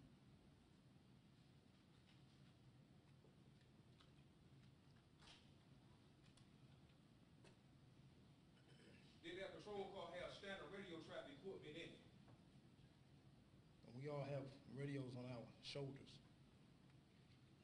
I think you misunderstood, Mr. Howard. Did that patrol car, one seventy-six, have standard radio traffic equipment inside of it? My vehicle did not have, we have radio, portable radios on our sides. So, but do the car have a, a radio in it? I have my MDT, I have my camera docket, excuse me, my camera docket. Um,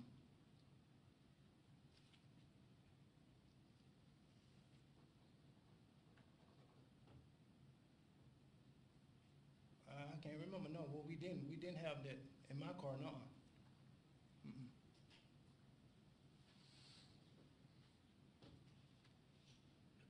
Are you telling us that the patrol car don't have radio?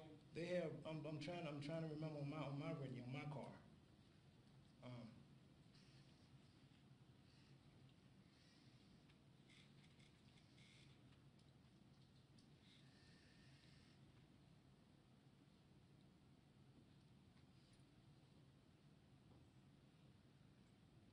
I just don't remember mine, I just don't remember mine. Fair enough, Mr. Howard.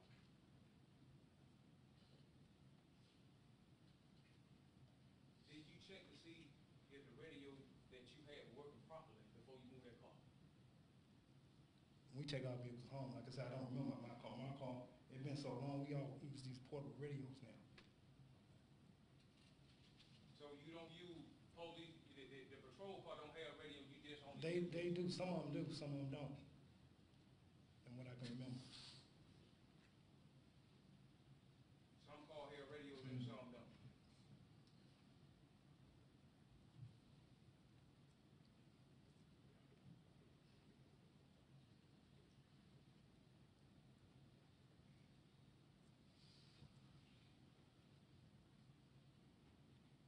All right, sir.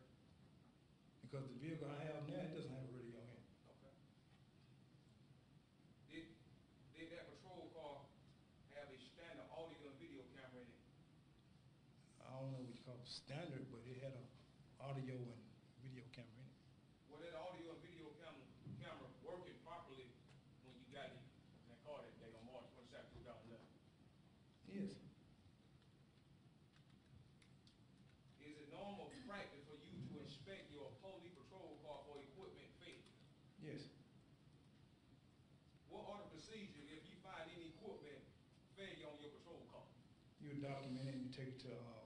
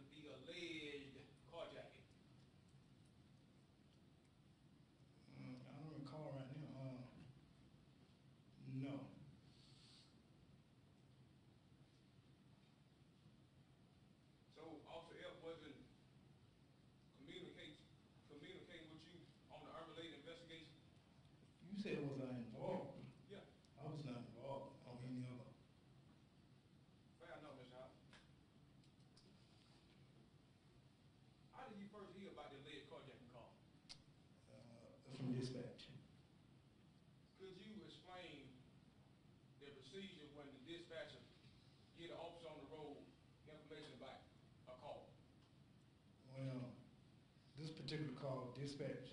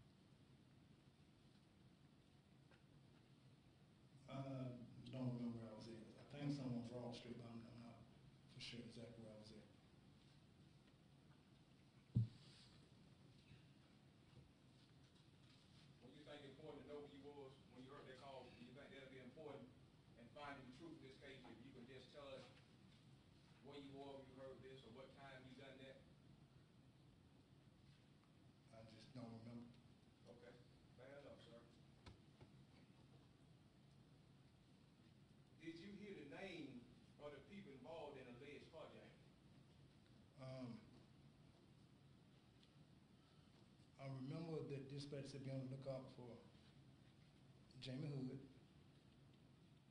Um, I don't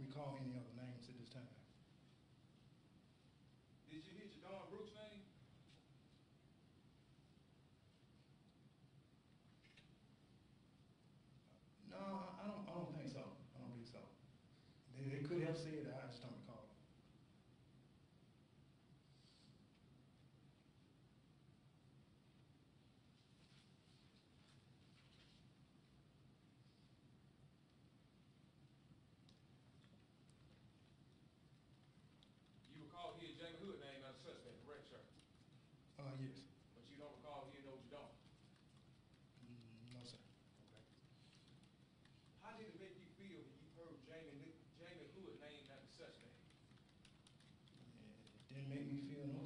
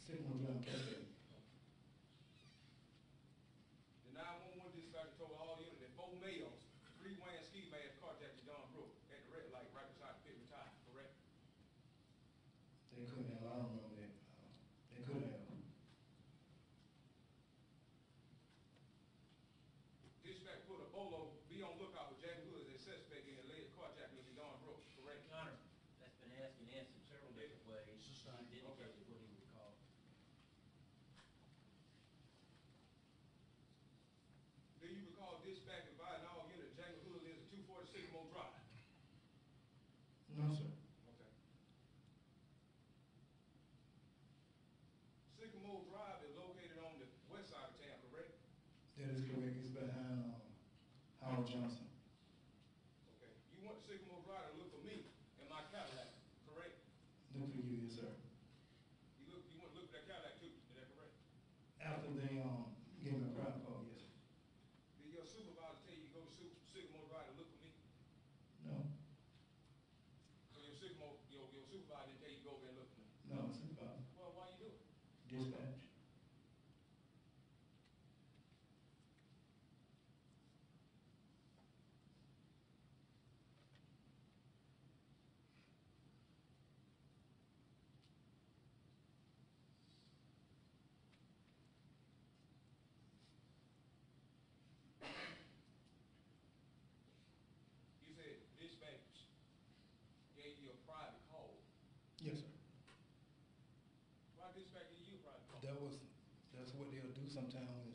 she'll change. They, they don't want to inconvenience anybody. And they will give me a call. They, they do that a lot. They'll say, this this that's a courtesy thing. They just give me a private call and say, hey, will you go down to Cascade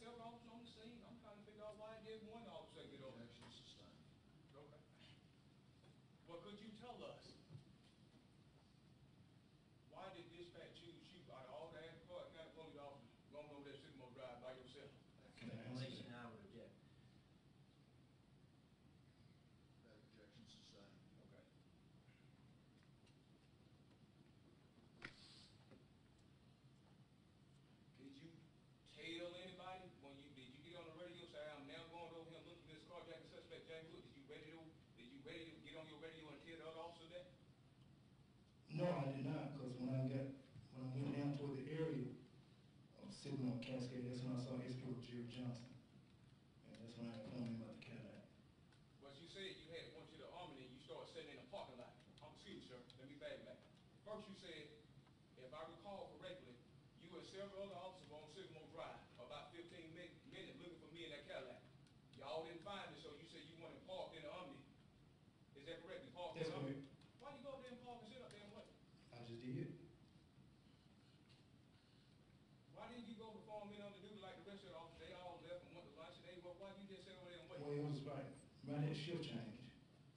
this golden era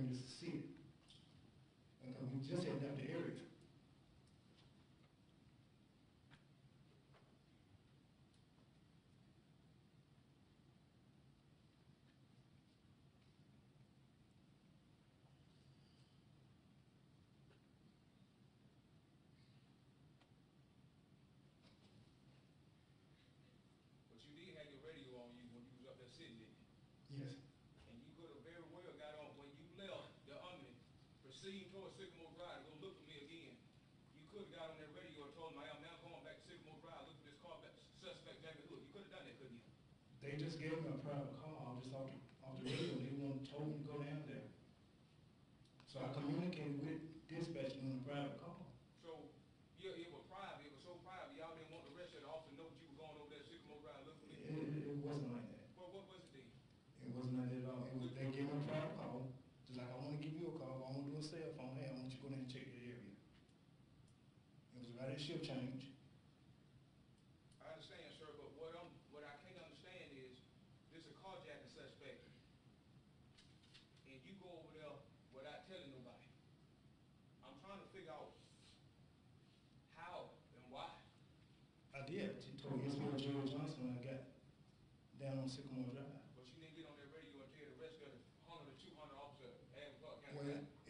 shift change. They was already going in.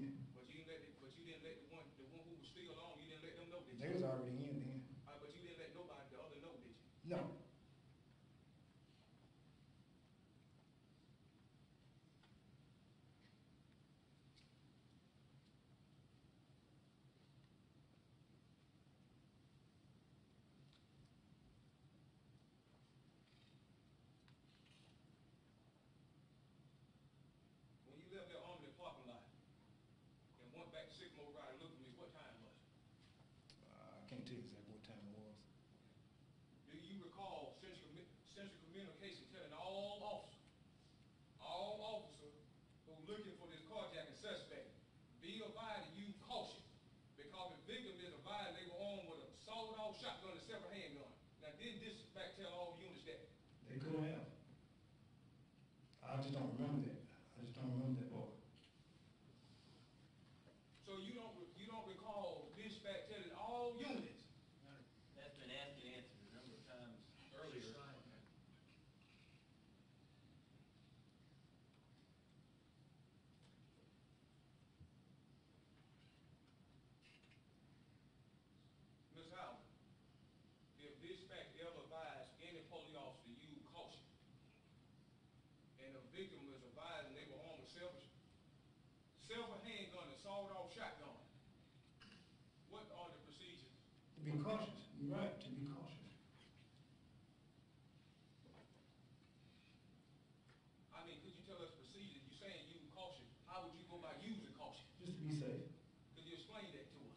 be safe with, with yourself and other officers. Um, at that time, when I ran up on the SUV, I um, only saw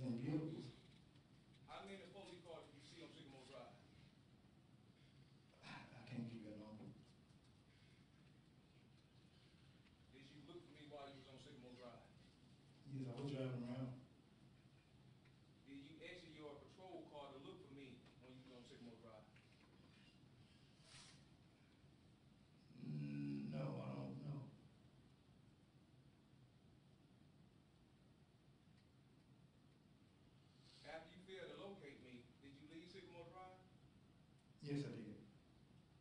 Okay. Did you park your patrol car on Sycamore Drive after you failed to locate me the first time you riding over through that fifteen minutes? Did you park your car over there at any time? Could have stopped and, um, talked to officers for a brief minute.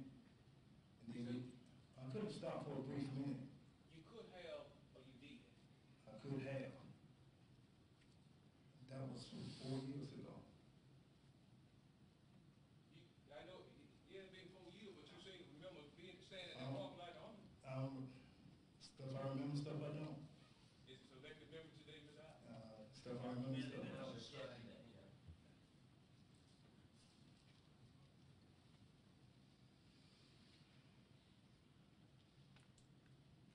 Did you see Officer Ring on Sycamore Drive? Uh, believe I did, yes, because I had just spoke with him earlier in Broad Acres.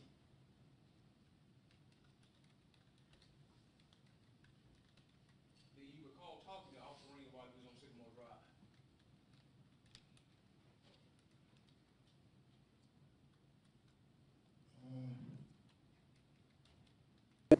Uh, I may have, not sure. Did you see Officer On Sycamore Drive? I think I saw him the first time. When we was looking for the first time. You think you did, you did, I'm sure, I'm sure, I remember something, he was in the area. Tell us, Not, what, um, go ahead. what, what you see I Officer? believe I saw his car, What, what did you see his car at? he was riding around the area. Was it stopped in the road, was it moving? Uh, he was moving. So it wasn't just stopped there in the road? No, um, we all riding around looking for you. Okay, well, Officer Chris is sitting parked in the road waiting on Silk Chain to change, talking on, on cell phone to somebody. I, I don't remember that part. But you do remember that car moving, it just wasn't sitting there, was? That was the first time. Between one and one thirty, we were riding around looking for you. Okay, how about when you came from the army the second time, did you see Officer Chris sitting there in that road? No, sir, I didn't.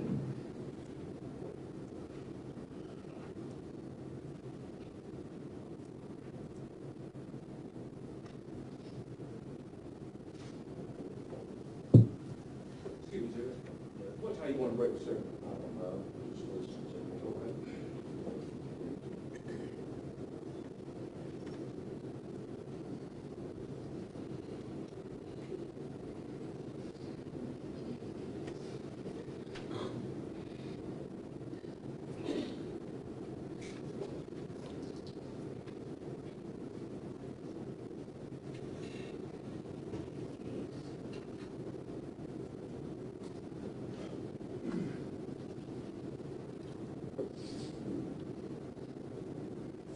Did you see Officer Jerry Lester Johnson on Sycamore Drive, sir? Jerry Johnson, yes, sir.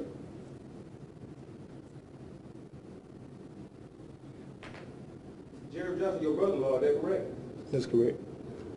What did you and Jerry Johnson talk about on Sycamore Drive? Um, I told him to go around, take a ride and go down Cascade and look for the Cadillac. The brown Cadillac. think I'm gonna have to use a little Elmo, a couple of, uh, states exhibit to pull up screen on Sycamore Drive so me and him can talk about what we saw. What exhibit numbers that, you know? Um, that'd be exhibit number ten, sir. Uh, exhibit number one forty-five, exhibit number one forty-nine, exhibit number one fifty, exhibit number one fifty-one, exhibit number one fifty-two. All right. Name those again, I thought you were asking for one. I'm sorry, sir. It's exhibit number ten, number one forty-five, one forty-nine, one fifty, one fifty-one, and one fifty-two.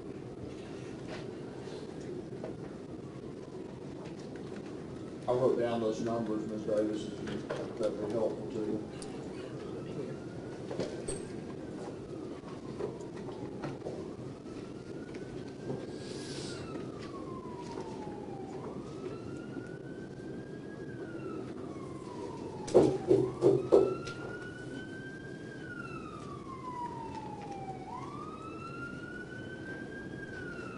Your Honor, it would take a moment, they're not in order.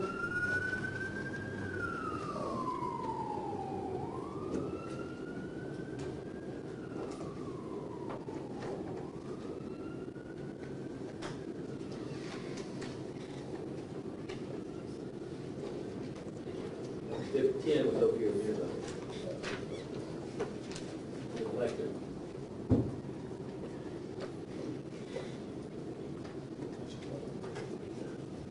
You want to start with one of them, or do you do them all at the same time?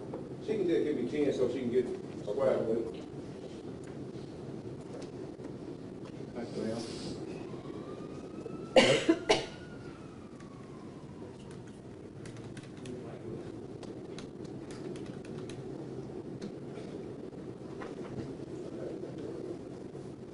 Okay, I'm sorry.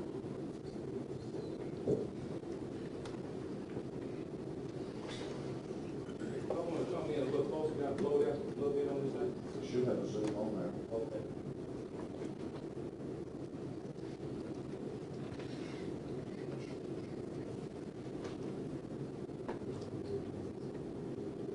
Okay, there it is. Oh. Mr. Howard, okay, you had a little red thing they use so we can This it? Yes, sir, I did. Okay. I did, can I use it first? If possible? Yes. Ms.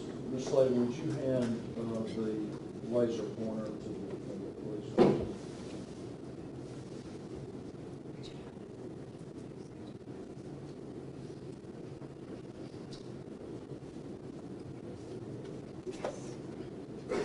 Thank you, ma'am.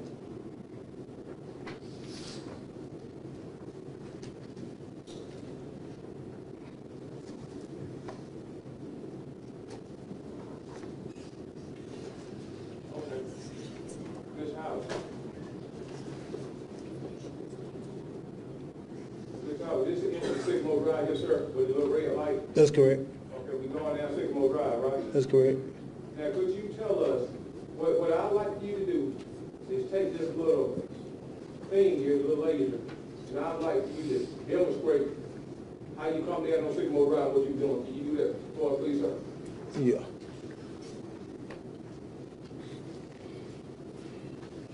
I think the question needs to reference at what time that he was talking about. Okay, the Before first the time. Omni or after the Omni? Okay, you're right. Before, before you went to the Omni, when you first went to Sycamore Drive, when you first heard it over the radio, this Cadillac suspect James Hood, Sycamore Drive, because you show us what you've seen and what the officers were and what you just kind of, what kind of happened, sir? What I recall, that we came down this way, came down Sycamore Drive, and when you went all around Cascade, this used to go to Beechwood Apartments right here. Um, I think we also went down to Timber Chase, I believe. And I'm not sure about Regency. We could have went down there too, I don't remember. But I think we focused on this area right here. I mean, when you say you focused on the area, did you come in the first entrance or the second entrance? Me where the first entrance at. First entrance is Cascade right here. Yes, sir. And this is also the second entrance. Okay, when you, when did you go in the first entrance or the second entrance? The first time, I, I don't remember, I couldn't have came in this first way. I couldn't have. I'm sorry, sir.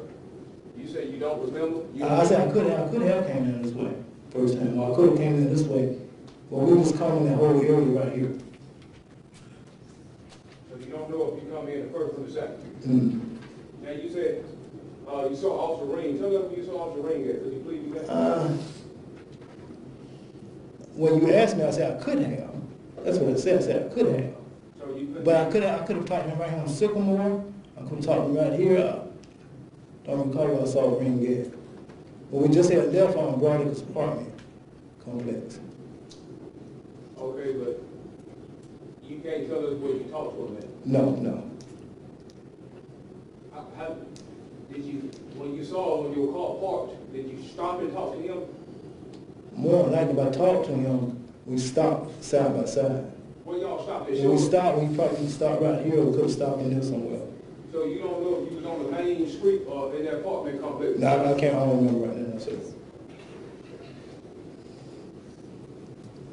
Okay, was Officer Johnson over there the first time that you was on the street Sycamore Drive?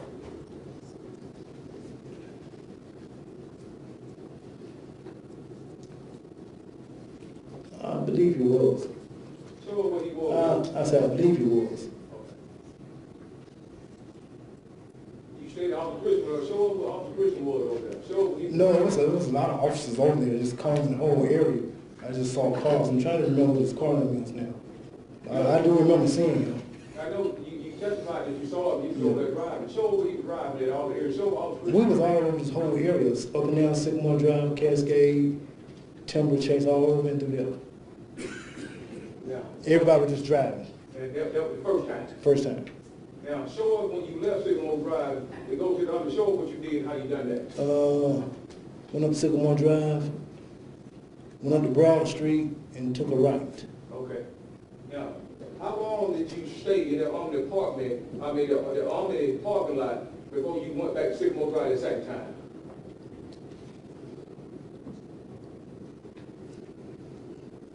It wasn't long at all, I'm not- I'm not sure how long it was, how many minutes. Five minutes, ten minutes, fifteen? I'm not sure. But I do know it was right, pretty close to shift change, And what time shift change, sir? one forty-five. One forty-five.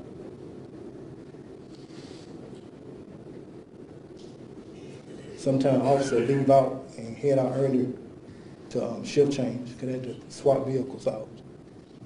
Okay, now, when you left there on the parking lot, to go back to Sycamore Drive on this private hall, and when you didn't call nobody, show us how you got back to Sycamore Drive and what you saw.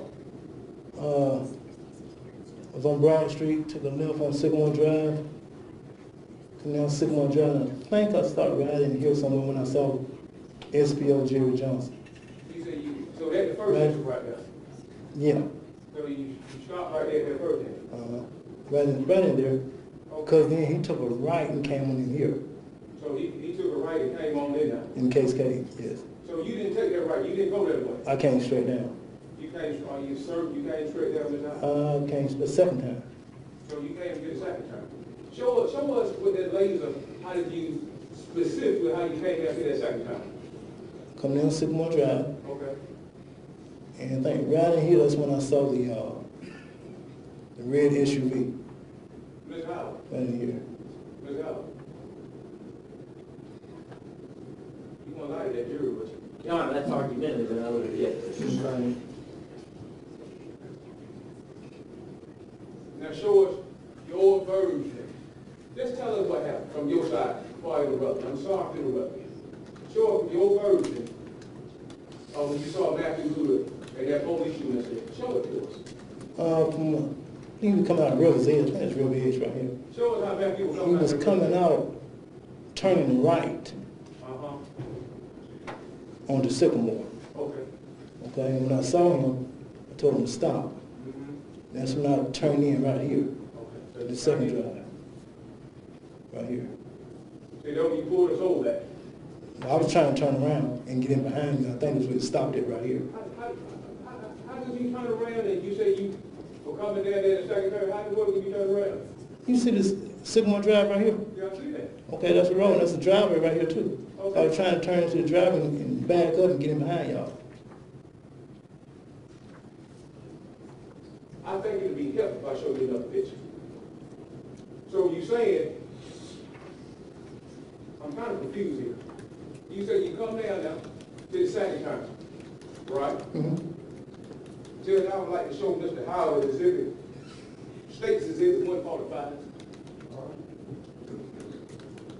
Now, Mr. Howard, this River Edge apartment complex, that's the one you seen back, you cut through them apartment, right? Uh, I believe that's it, yes. Sir? Yes. Okay. So now people coming through there, then they go to Cascade, is that correct? I didn't say he was going to Cascade. Okay, fair enough.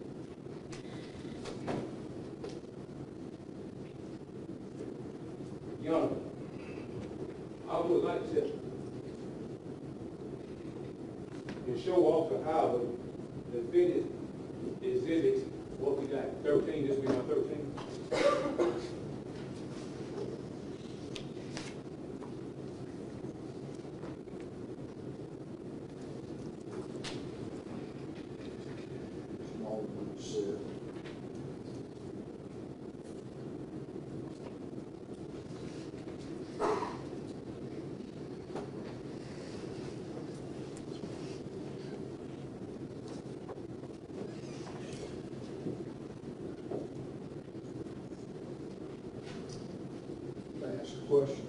Uh, Ms. Do you recognize what you see and defended it? 13, sir? Yeah, I see it. Is it a, is it a fair and accurate presentation of what you saw that day? From what I'm seeing here, um,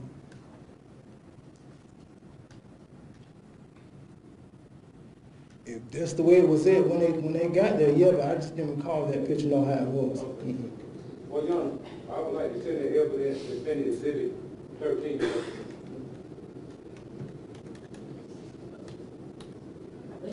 He doesn't recall actually the, Or could I put it up on the MO without being evidence and explain to him? Ms. Howard, when you agree that picture, there's a picture of your police car on Sycamore Drive. You Well, see your car? according to this, it's in the driveway of Cascade. Okay, Cascade, exactly. And Right. when you pulled us over Cascade, didn't you? Uh, when I saw y'all coming out of there, y'all was on, putting on to Sycamore, Okay. from what I saw. Then you pull us over Cascade. This picture say Cascade, Okay, is your police car parked right there on right there in the driveway, yes. Well, how'd you get there, Ms. I guess that's where it stopped at. Do that authenticated, he said stop right there. He has not identified the picture as being. Fair enough, fair enough. So it is not, it is not admissible. Okay, fair enough.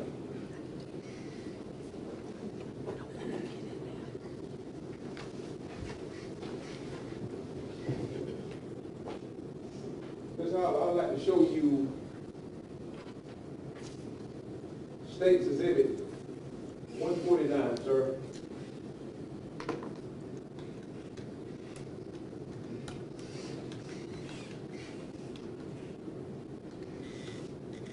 Is State Exhibit one forty-nine show you where your police car was stopped at? Yes. You see that red Suburban to the side, you see that? Yes. From over there? Yes, sir, you see it right there, yes, sir. Yeah. I think I got a better picture for you, sir, it might be better out. Oh, that one kind of messed up, this will help you a little better. Uh, how about State Exhibit one fifty-one, sir?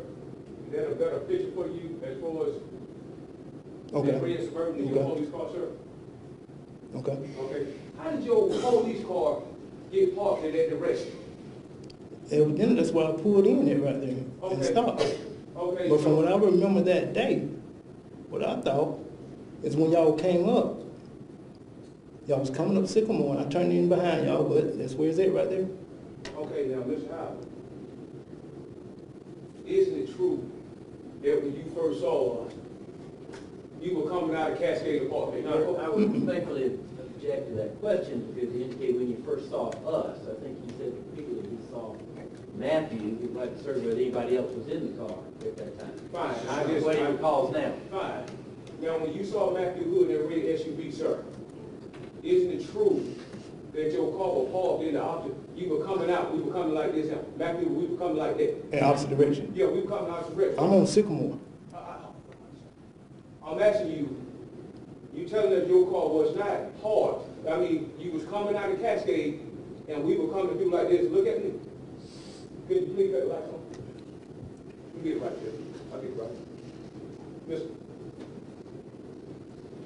Ms. Howard, do you recall, you were coming out of Cascade like this, and we were coming across dressed like that, do you recall that when you, when you first saw Matthew? No, no, So you mean to tell you you didn't do that? no. You see the car, the car, I'm on Sycamore. And I saw you all coming out of River's Edge. Now, when you saw her coming out of uh, uh, uh, River's Edge, you were coming straight out of Cascade, we were face to face, what wasn't? Uh-uh, uh-uh. The way that picture, I'm, I'm coming out of Sycamore. Okay. Well, how did you turn your car around? You said you turned your car around. If you behind, us, look at me now.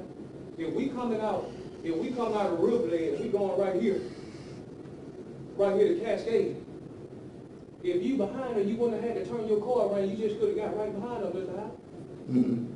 You wouldn't have no reason to put your car in reverse and turn around if you coming in right behind her, Mr. From what I remember, no, that's not how it was. Well,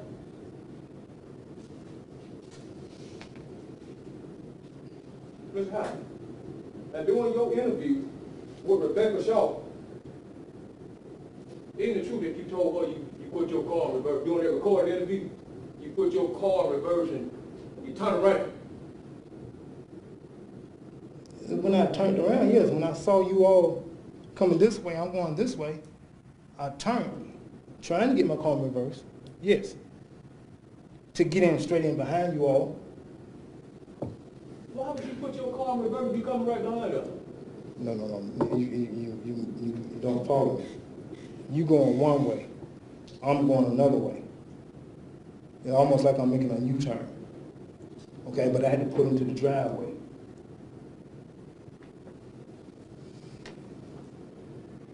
Is there a way he can demonstrate to us?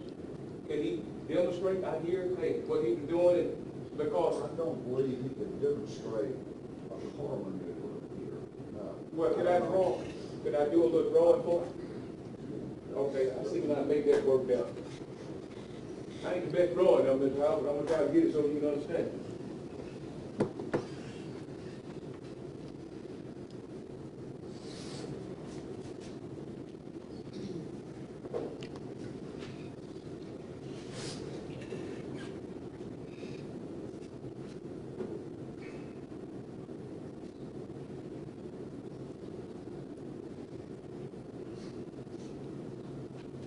Tell do, uh, give you some time to do that, we're gonna break for lunch. Um, I'll ask you to go to the jury room,